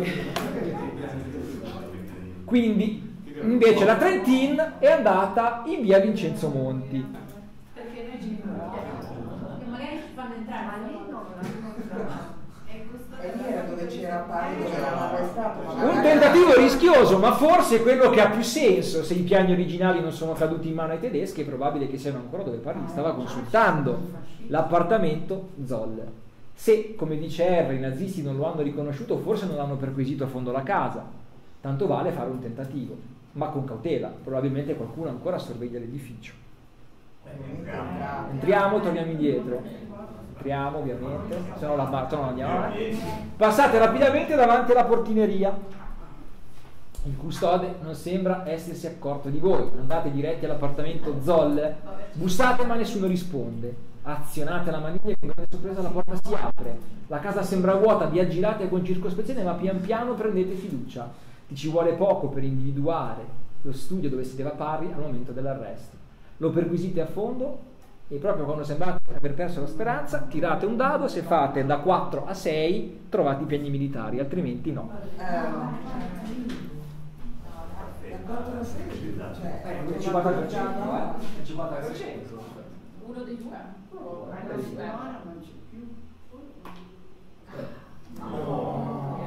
Non li avete trovati, ma il gioco va avanti lo stesso, altrimenti avremmo fatto game over. Diciamo che invece li avete trovati. Un po' per fortuna, mentre consultate sull'armadio, in realtà i pacchi cadono, quindi non li avete trovati ma vi cadono addosso e quindi avete recuperato i piani militari. Avete recuperato una mappa degli impianti idroelettrici della zona, eh, contratti dai tedeschi e dai fascisti, un codice cifrato con le coordinate dei lanci aerei, eh, degli aviolanci, una mappa dell'Italia settentrionale utile per capire quali sono le zone migliori per i lanci degli alleati, tutti i documenti originali questi. Vi basta un'occhiata per capire quanto è prezioso il materiale acquisito, ma anche rischioso, se i tedeschi e i fascisti ti perquisissero saresti spacciato e comprometteresti anche la resistenza. Per fortuna il 5 gennaio, l'inverno è rigido, sotto al cappotto è difficile capire cosa porta un uomo. Nascondete bene il pacco ed uscite dalla casa con cautela. Ora non vi resta che voi non potete, no, Casman non può perché è stata arrestata.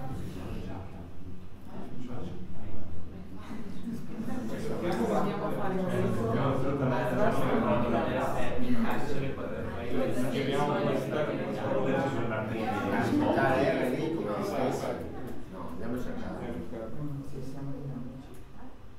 Ok. Cosa facciamo? Cercate, aspettate? Cercate, cercate. Aspettate, aspettate, cercate. È uguale. Sostanzialmente si arriva sempre qui. Intanto vi do eh, la situazione. 10 famiglie Gasparotto, 7 famiglie Trentin, che è risalita, 3 famiglie Casman e Rosselli. Ma tutto può ancora succedere. Ok, siamo con i piani in mano. R però sembra sparito. Custodiamo i piani gelosamente in una intercapedine del nostro appartamento, sperando in un rapido incontro, ma nulla. Trascorre un mese intero, poi all'improvviso, nella fredda mattina del 3 febbraio, R si presenta alla vostra porta. Che fine hai fatto? chiedi subito. Ti ricordi dei piani e li togli dal loro nascondiglio, glieli porgi. R li accetta con un gesto semplice. Il mese è stato terribile, confessa. Nel volto si percepisce la stanchezza. All'hotel Regina Maurizio è stato riconosciuto immediatamente, eppure per caso. È stato un agente di pubblica sicurezza che lo aveva arrestato tempo fa. I tedeschi hanno aumentato la sorveglianza e lo stanno interrogando. Stringete i pugni pieni di rabbia. Dobbiamo liberarlo, esclamate. Abbiamo perso troppo tempo. R vi guarda intensamente. Qualcuno si sta organizzando. Agirà stanotte. Il suo nome di battaglia è Edi. Secondo me è un azzardo. Se Maurizio verrà liberato sarà attraverso altre strade. Qualcuno si è dato Edi come nome di battaglia? No, io mi chiamo Edi. Ah, dai. Edi in realtà è il nome di battaglia di Edgar Lo Sogno. Quindi è un personaggio reale anche questo. C'è invece un partigiano torinese quando c'è Sì. la targa a Parador che si chiamava invece Edi. Eh, sì, sì, di nome proprio. Sì, ah, sì, ok. non era solo- No, no, Edi invece è uno- Edgar Lo Sogno che poi è uno di quelli che fa il golpe borghese, insomma, sì. quindi vabbè.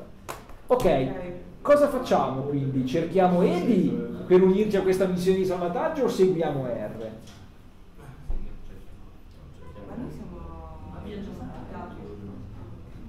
Ah, ah, giusto. Però quindi ci una zona. Per ora ci avete sotto tutto il sembra ogni ragione. R ha sempre avuto ragione. Ora Ah, Brigata Ro- Rosselli, sei rimasto solo in due. Uno della Brigata Casman si vuole unire alla Brigata Rosselli per dare manforte. eh, no.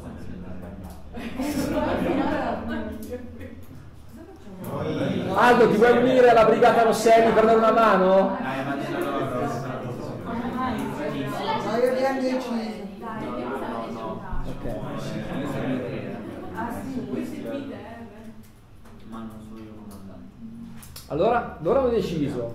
noi stiamo con Edi. Voi con Edi, quindi anche voi, tutti e due con anche voi Edi avete detto? No. no voi R, ok, quindi Edi, R, Rosselli, voi cercate Edi, ok?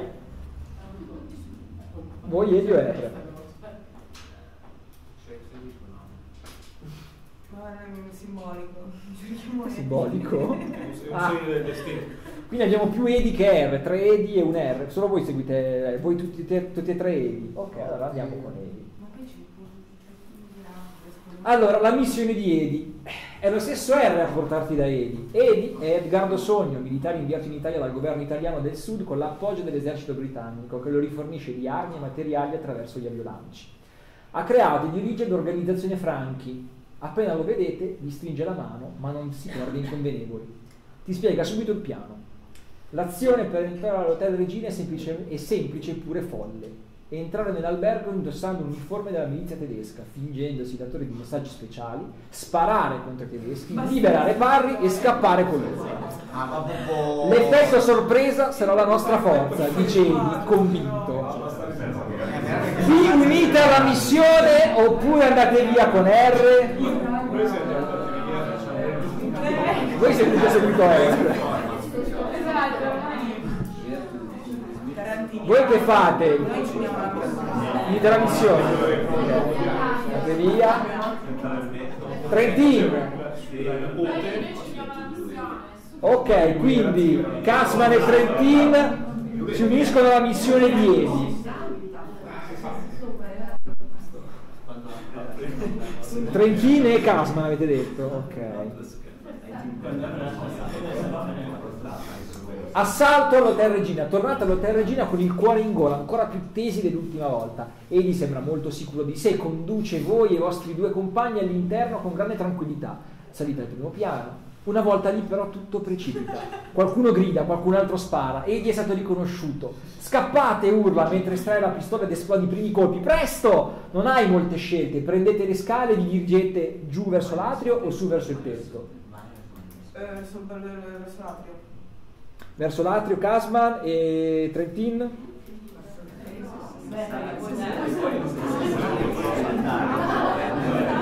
Trentin, veloce, dovete decidere in fretta. Tetto. Allora, giù verso l'atrio Casman. L'atrio è pieno di SS che hanno sbarrato la via di fuga. Vi sono addosso in molti e vi impediscono ogni azione armata. Siete stati catturati, la vostra missione è fallita. Se fate un tiro di dado da 6 potete forse liberare, essere liberati dall'altro giorno. Uno, niente. Ok, invece chi è che sale a Trentin sale verso il tetto. Fuga sui tetti. Salite le scale di volata. Sì, comunque un meno uno ve lo siete beccato per aver seguito R. Cioè, eh, cioè. Salite le scale di volata e guadagnate l'esterno, da lì in pieno centro. Non è difficile passare da un tetto all'altro. Però, per vedere se effettivamente avete avuto successo nell'andare al, sul tetto, staffetta o comandante della. vengo io da voi, dovete fare almeno 5 o 6. Sì, adesso la regola R ha sempre Deve fare 5 6 R ha sempre.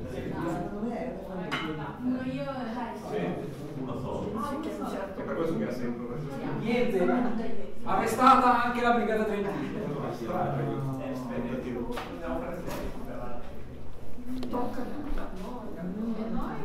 Ok, quindi la brigata trentina anche niente.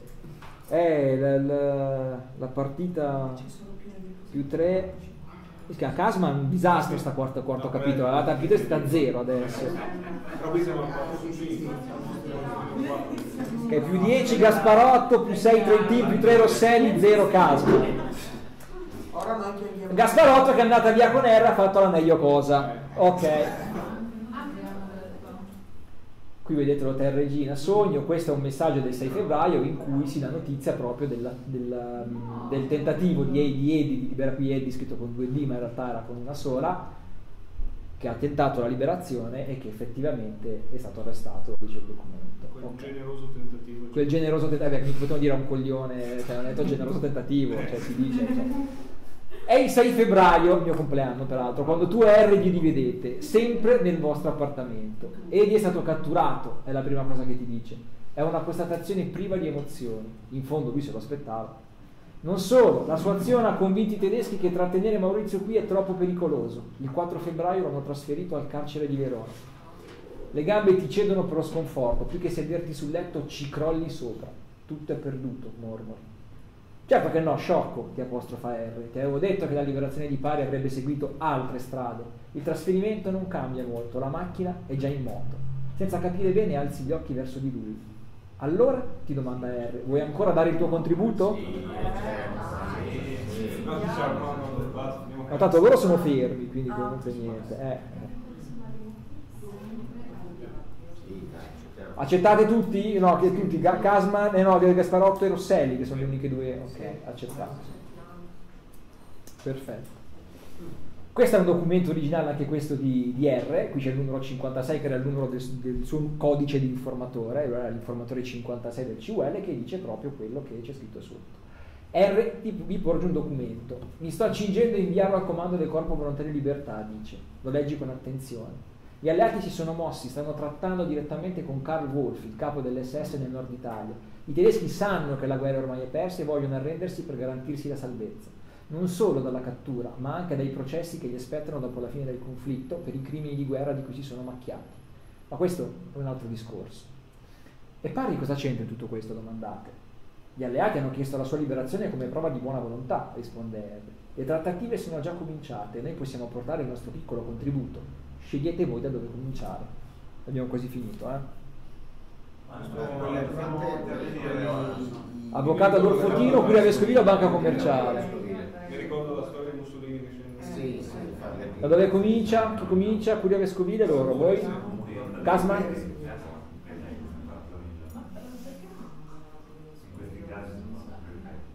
Preti anche a Trentino alla Curia, ok?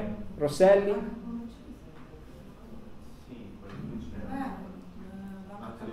Banca commerciale? No, ma io dei preti no, ma io dei preti no. Dai preti no? Dei preti sì o dei preti no? Cioè, decidete. No, ma qui c'è questa brigata, c'è una spaccatura in corso dai tempi dell'attacco alla privale. Casman, qui dove andate? Commerciale avete detto, ok? Rosselli, scusate. No, io vado da così io entrerei in banca. Banca, quindi due banca e due... Curia o non curia? Curia o in curia? Curia o in curia? Dai, non fate fare a me questa cosa. Ah.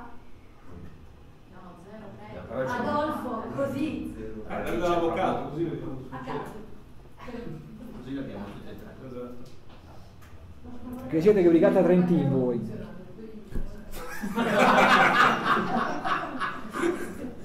Angel Master è un Allora, Master un mi- maestro elementare, ma quello cattivo, quello con il righello che Lo studio di Adolfo Tino, lo studio di Adolfo Tino a Milano è stato fino a poco fa uno dei punti di ritrovo dell'antifascismo azionista. Qui Ferruccio Pari incontrava Riccardo Lombardi, Riccardo Bauer, Raffaele Mattioli, Umberto Zanotti Bianco, Bruno Visentini, eccetera, eccetera. Sempre qui, nel 1942, è stato redatto un documento dell'antifascismo che poi Enrico Cuccia, dirigente del servizio della Banca Commerciale Italiana, è riuscito a consegnare agli alleati. Cioè non di meno l'avvocato non ha un momento in grado di aiutarti, li accoglie con cortesia, ma vi dice che fareste meglio ad andare altrove. E in effetti chi è andato alla curia vescovile, benissimo, ha fatto bene. Alla curia vescovile c'è Don, c'è Don Biccherai, segretario del vescovo. In realtà per, per superare questa prova bisogna andare in due luoghi, che sono la curia vescovile dove c'è Don Biccherai, che sta mediando con i tedeschi per la resa e li indirizza però in un altro luogo, la chiesa di San Carlo Borromeo in corso Vittorio Emanuele II, che è un posto più sicuro per portare avanti le trattative clandestine è entrato in contatto con i compagni di lotta, ma per liberare pare necessario uno sforzo in più, che è quello di andare alla banca commerciale, come ci ha detto l'avvocato Tino, dove c'è Enrico Cuccia, dirigente della banca commerciale italiana, la resistenza qui un canale aperto con gli alleati, oltre a quello garantito da Pizzoni, quindi questo è dunque un luogo fondamentale per le trattative. Nelle settimane che seguono lo stesso Cuccia ad assegnare a custodire o consegnare. L'attività ferve, manca un piccolo sforzo. Parri è libero. Ah, quindi ci sono i poteri forti sostanzialmente che liberano Parri. Aspettate, però non è finita qua. Perché? Perché la brigata Casma non può più vincere, perché ha più uno. La brigata Rosselli potrebbe. E anche la brigata Trentin che ha 13, perché l'ultima missione vale ben 8 famiglie. La situazione è 13, 6 la brigata Trentin, 6 la brigata Rosselli e 1 la brigata Casma. La brigata Rosselli sono rimaste solo in due. Quindi io direi che la brigata Rosselli e la brigata Casman si fondono, E uniscono le forze. uniscono le forze e devono decifrare questo messaggio. E vale 8, famiglie. Eh, infatti. Gli altri sono a 6. Sono a 6, possono ancora vincere. Come prima, quando avete risolto, alzate la mano e mi, o mi date un foglietto e me la dite all'orecchio. Qual è il messaggio, de- il messaggio criptato? Casman? Insurrezione generale da mi guarda. Esattamente. Perché effettivamente il 25 aprile i primi combattimenti sono al quartiere di Guarda a Milano, dal quartiere di Guarda poi si estendono a tutta la città. I tedeschi e fascisti resistono, ma con la mediazione anche della Curia nascondile, quindi i preti sono importanti, la resa è completa. Qual era la chiave per risolvere il Dovevate molto semplicemente, la chiave era qua, quindi dovevate prendere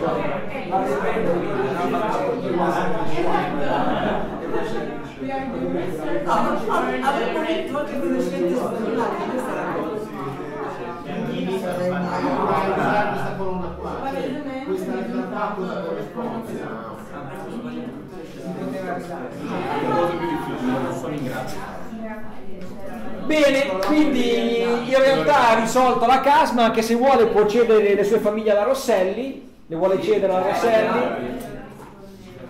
Quindi con questi 8 punti la Casman va a più 9, cede le sue 9 alla Rosselli che va a 15 e quindi la Rosselli vince, deve ringraziare la Casman.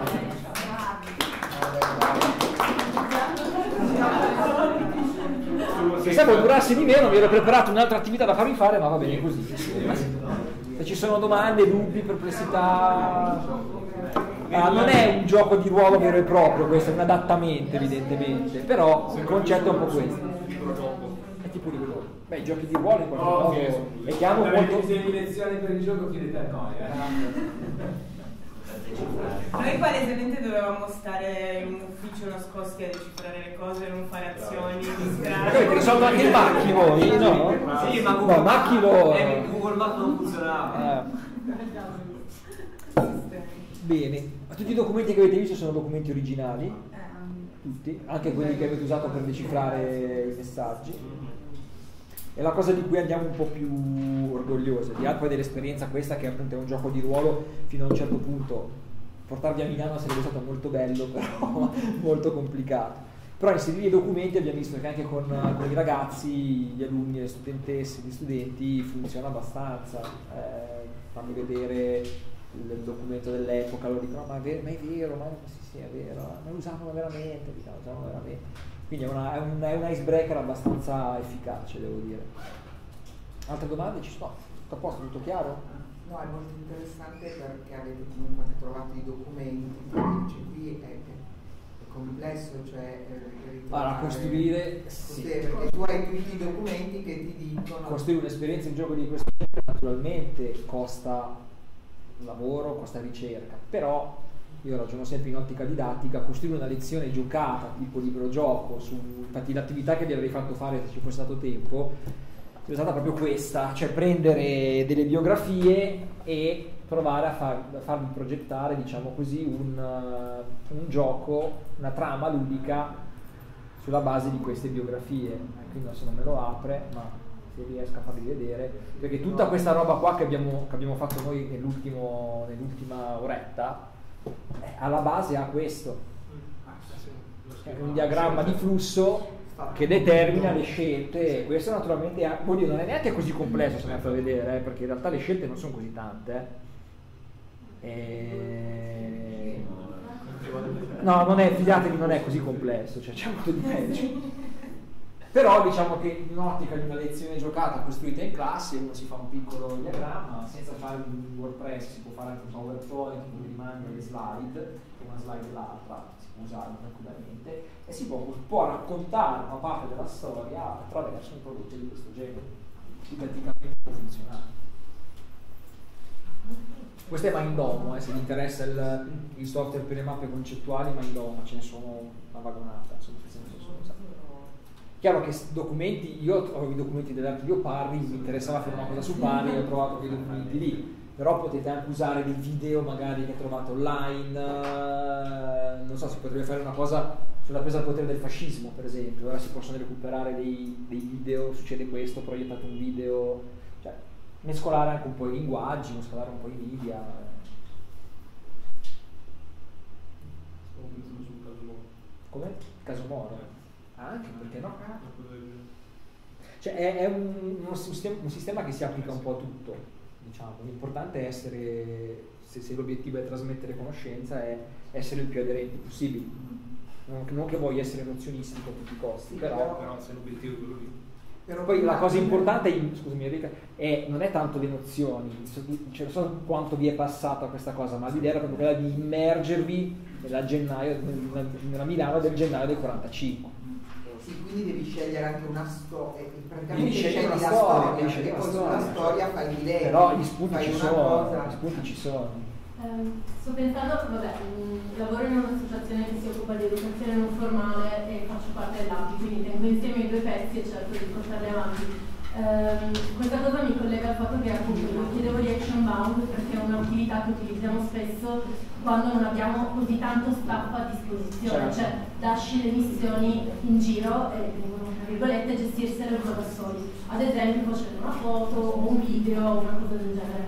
La questione, mh, vabbè, lavorando anche con l'ambito internazionale, quindi lavori ragazzi che non conoscono per niente i luoghi, le storie, eccetera, è interessante la veridicità, però trovo che possa avere molto senso anche raccontarle come delle storie, ehm, tra virgolette, astratte e non stereotipate, ma ehm, storie tipo, tra virgolette. E quindi, sì, quindi ispirarsi non necessariamente scendendo nella- nell'effettivo di come si sono svolte per dare l'idea. Mi chiedevo quanto di, cioè in questo caso è proprio letterale rispetto ai fatti, mi chiedevo se nella valutazione rispetto ad altri percorsi, non so se tutto intorno a Pari o se ci sono altre figure, ci sia stata anche una romanzazio- romantizzazione. Romanzatura. quella. No, allora, qu- qualche scelta, quella del, della Muti, oggi qui nel- nell'esperienza non siamo andati, ma nell'Urban Game li facciamo andare alla Muti e come dicevo prima, pari alla Muti si sa che non va, in realtà si sa da subito che non va, quindi noi lì abbiamo fatto una piccola forzatura che aveva il senso di far conoscere il luogo dove c'era la caserma della Regione Muti a Milano. Allora, in realtà abbiamo trovato anche un documento che ci fa un po' da pezzo d'appoggio, quindi siamo stati anche fortunati. Io tendenzialmente preferisco deviare il meno possibile, cioè provare ad azzardare qualcosa di verosimile, ma cercare di, cioè non li faccio andare, che ne so, a, a- in un altro luogo, so, magari a- a Biancamano dove c'era effettivamente il comando partigiano, no, quel comando partigiano era della 44 che era dismesso, non veniva usato, storicamente sarebbe un controsenso e non li faccio andare. Mhm. Quindi io cerco sempre, però se l'idea è quella di trasmettere un clima, un processo storico, eh, ci può anche stare Faccio un po' di esempio. fiction. Live action role playing che stiamo Mhm. progettando sul Colle dell'Ist dove tendenzialmente c'è la prevalenza di Brigata Garibaldi, noi cercheremo di mettere invece tutti i colori, uno perché da un punto di vista proprio diciamo di divisione in squadre è molto pratico, è molto efficace e due per narrare la complessità anche a persone che non conoscono per Certo. niente la storia del partigianato eccetera, quindi mi chiedo appunto se viene percepito in chiave storica sicuramente come una forzatura, però in chiave ludica può essere efficace.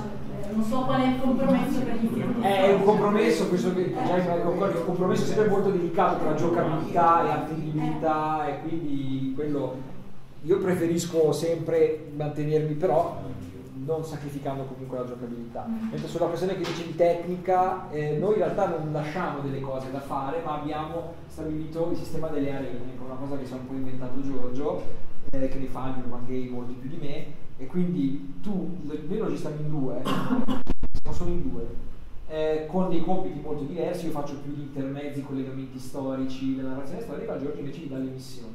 E tu hai un punto centrale dove li raccogli, poi gli dai delle missioni, loro le vanno a risolvere e la soluzione te la danno su WhatsApp. Mhm. Ovviamente è un anacronismo, però come fai oggi a impedire anche a dei ragazzi di usare WhatsApp per fare le ricerche o il Google Map? Non puoi, allora aspettiamolo.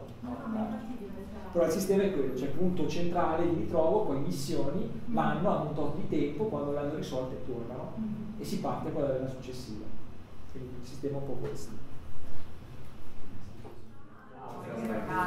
Allora, i ragazzi, questi qui sono quante quinte, eh, quante quinte superiori.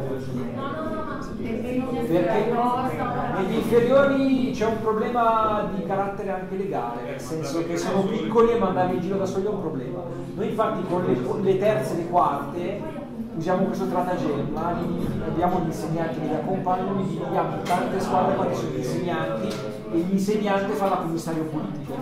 Quindi di fatto li aiuta poco nella soluzione, però li accompagna e decidere facciamo con l'insegnante su WhatsApp con quei ragazzi. Quanto è grande?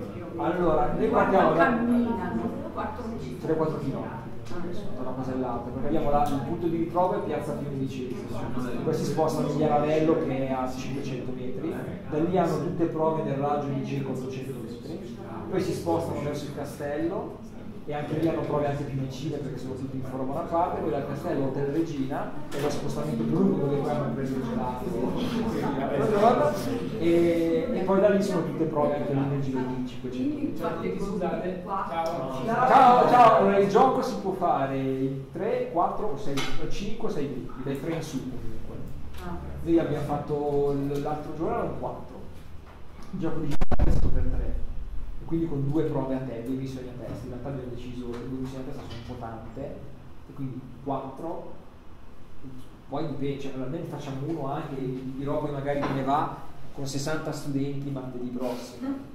Io sono abbastanza terrorizzato con i 60 studenti perché effettivamente è ordine pubblico a un certo punto. no? Eh, abbiamo gli insegnanti, ognuno per squadra, però 60 sono tanti, sono 6 squadre da 12, che sono un po' tantini. Però vediamo. L'anno scorso erano 50, l'anno faccio sapere. Però che- c'è, un, un numero limite secondo me in queste esperienze ludiche, cioè non le puoi fare per appunto 60 sono tanti. Il massimo è sui 45-48 In due e già fa fatica. In due no, ma ce la si fa, ce la si fa. Se Se, se, si divide bene i compiti, ognuno sa quello che deve fare e le due persone sono affiatate, si riesce a fare. Quindi uno sta eh? Allora, io e Giorgio non ci vediamo quasi mai, ci vediamo all'inizio, poi dopo prima, prima in un luogo, poi quando lui va. spostate anche voi? Sì, o- sì, certo, sì, sì, noi ci spostiamo, nei- quando, noi ci, allora, quando rimaniamo in un posto trovano una persona di noi due. Quando poi vanno a fare le missioni, questa persona va nel posto successivo e quando loro tornano trovano l'altro che li manda nel posto che nel frattempo è andato alla con inseguita, chi della tartaruga. Fino alla fine che poi in San Fedele in realtà loro tornano e non trovano più Giorgio perché effettivamente è ambientato ad aprile del 45, Osteri effettivamente a febbraio viene chiamato dagli alleati in, eh, in Svizzera che gli danno un brodo al sonnifero perché stava facendo un come spia, quindi lo, lo narcotizzano e lo arrestano e quindi Giorgio torna poi dopo decifra nel messaggio alla fine di torre, già l'abbiamo liberato. Quindi, però sì sì, no, in due si riesce a gestire. Si riesce a gestire. E l'esperienza di vivere in un contesto non urbano? È più complicato perché devi dare i, riferimenti manco, cioè in un contesto urbano tu puoi dare una via, puoi dare una piazza, puoi dare un palazzo, una lapide, in un contesto non urbano Però devi muoverti in bicicletta. E poi devi essere Kit Carson, veramente. Devi... No, però lo penso per esempio da noi sul sentiero di montagna una cosa del genere. Ma lì a quel punto però devi riuscire. Allora c'è un vantaggio in realtà nel fare i sentieri di Ah, montagna, vai, cosa che non puoi fare per esempio in, in città, cioè io potrei anche lasciare una missione sul portone di un palazzo, ma poi la persona non la mettere su un albero, magari su un sentiero, qualcosa lo puoi lasciare, no? E quindi a quel punto ti puoi aiutare con... Però a quel punto forse in montagna conviene fare più un itinerario Mm. che non una cosa d'arena, secondo me. Una cosa Puoi itineraria. avere lo stesso un punto di ritrovo. Cioè, Sì, puoi fare un punto di ritrovo, però il sistema delle arene, che significa proprio avere un raggio allarga d'azione che periodicamente, secondo me, si presta molto per lo scenario urbano, molto meno per lo scenario montano. Poi va anche in piccoli centri urbani, eh. Giorgia ha fatto una roba con Popistori a, a Vado, un gioco storico, e anche questo su arena, erano solo due arene, però ha funzionato. Però anche lì era spazio urbano. Bene, grazie. Grazie.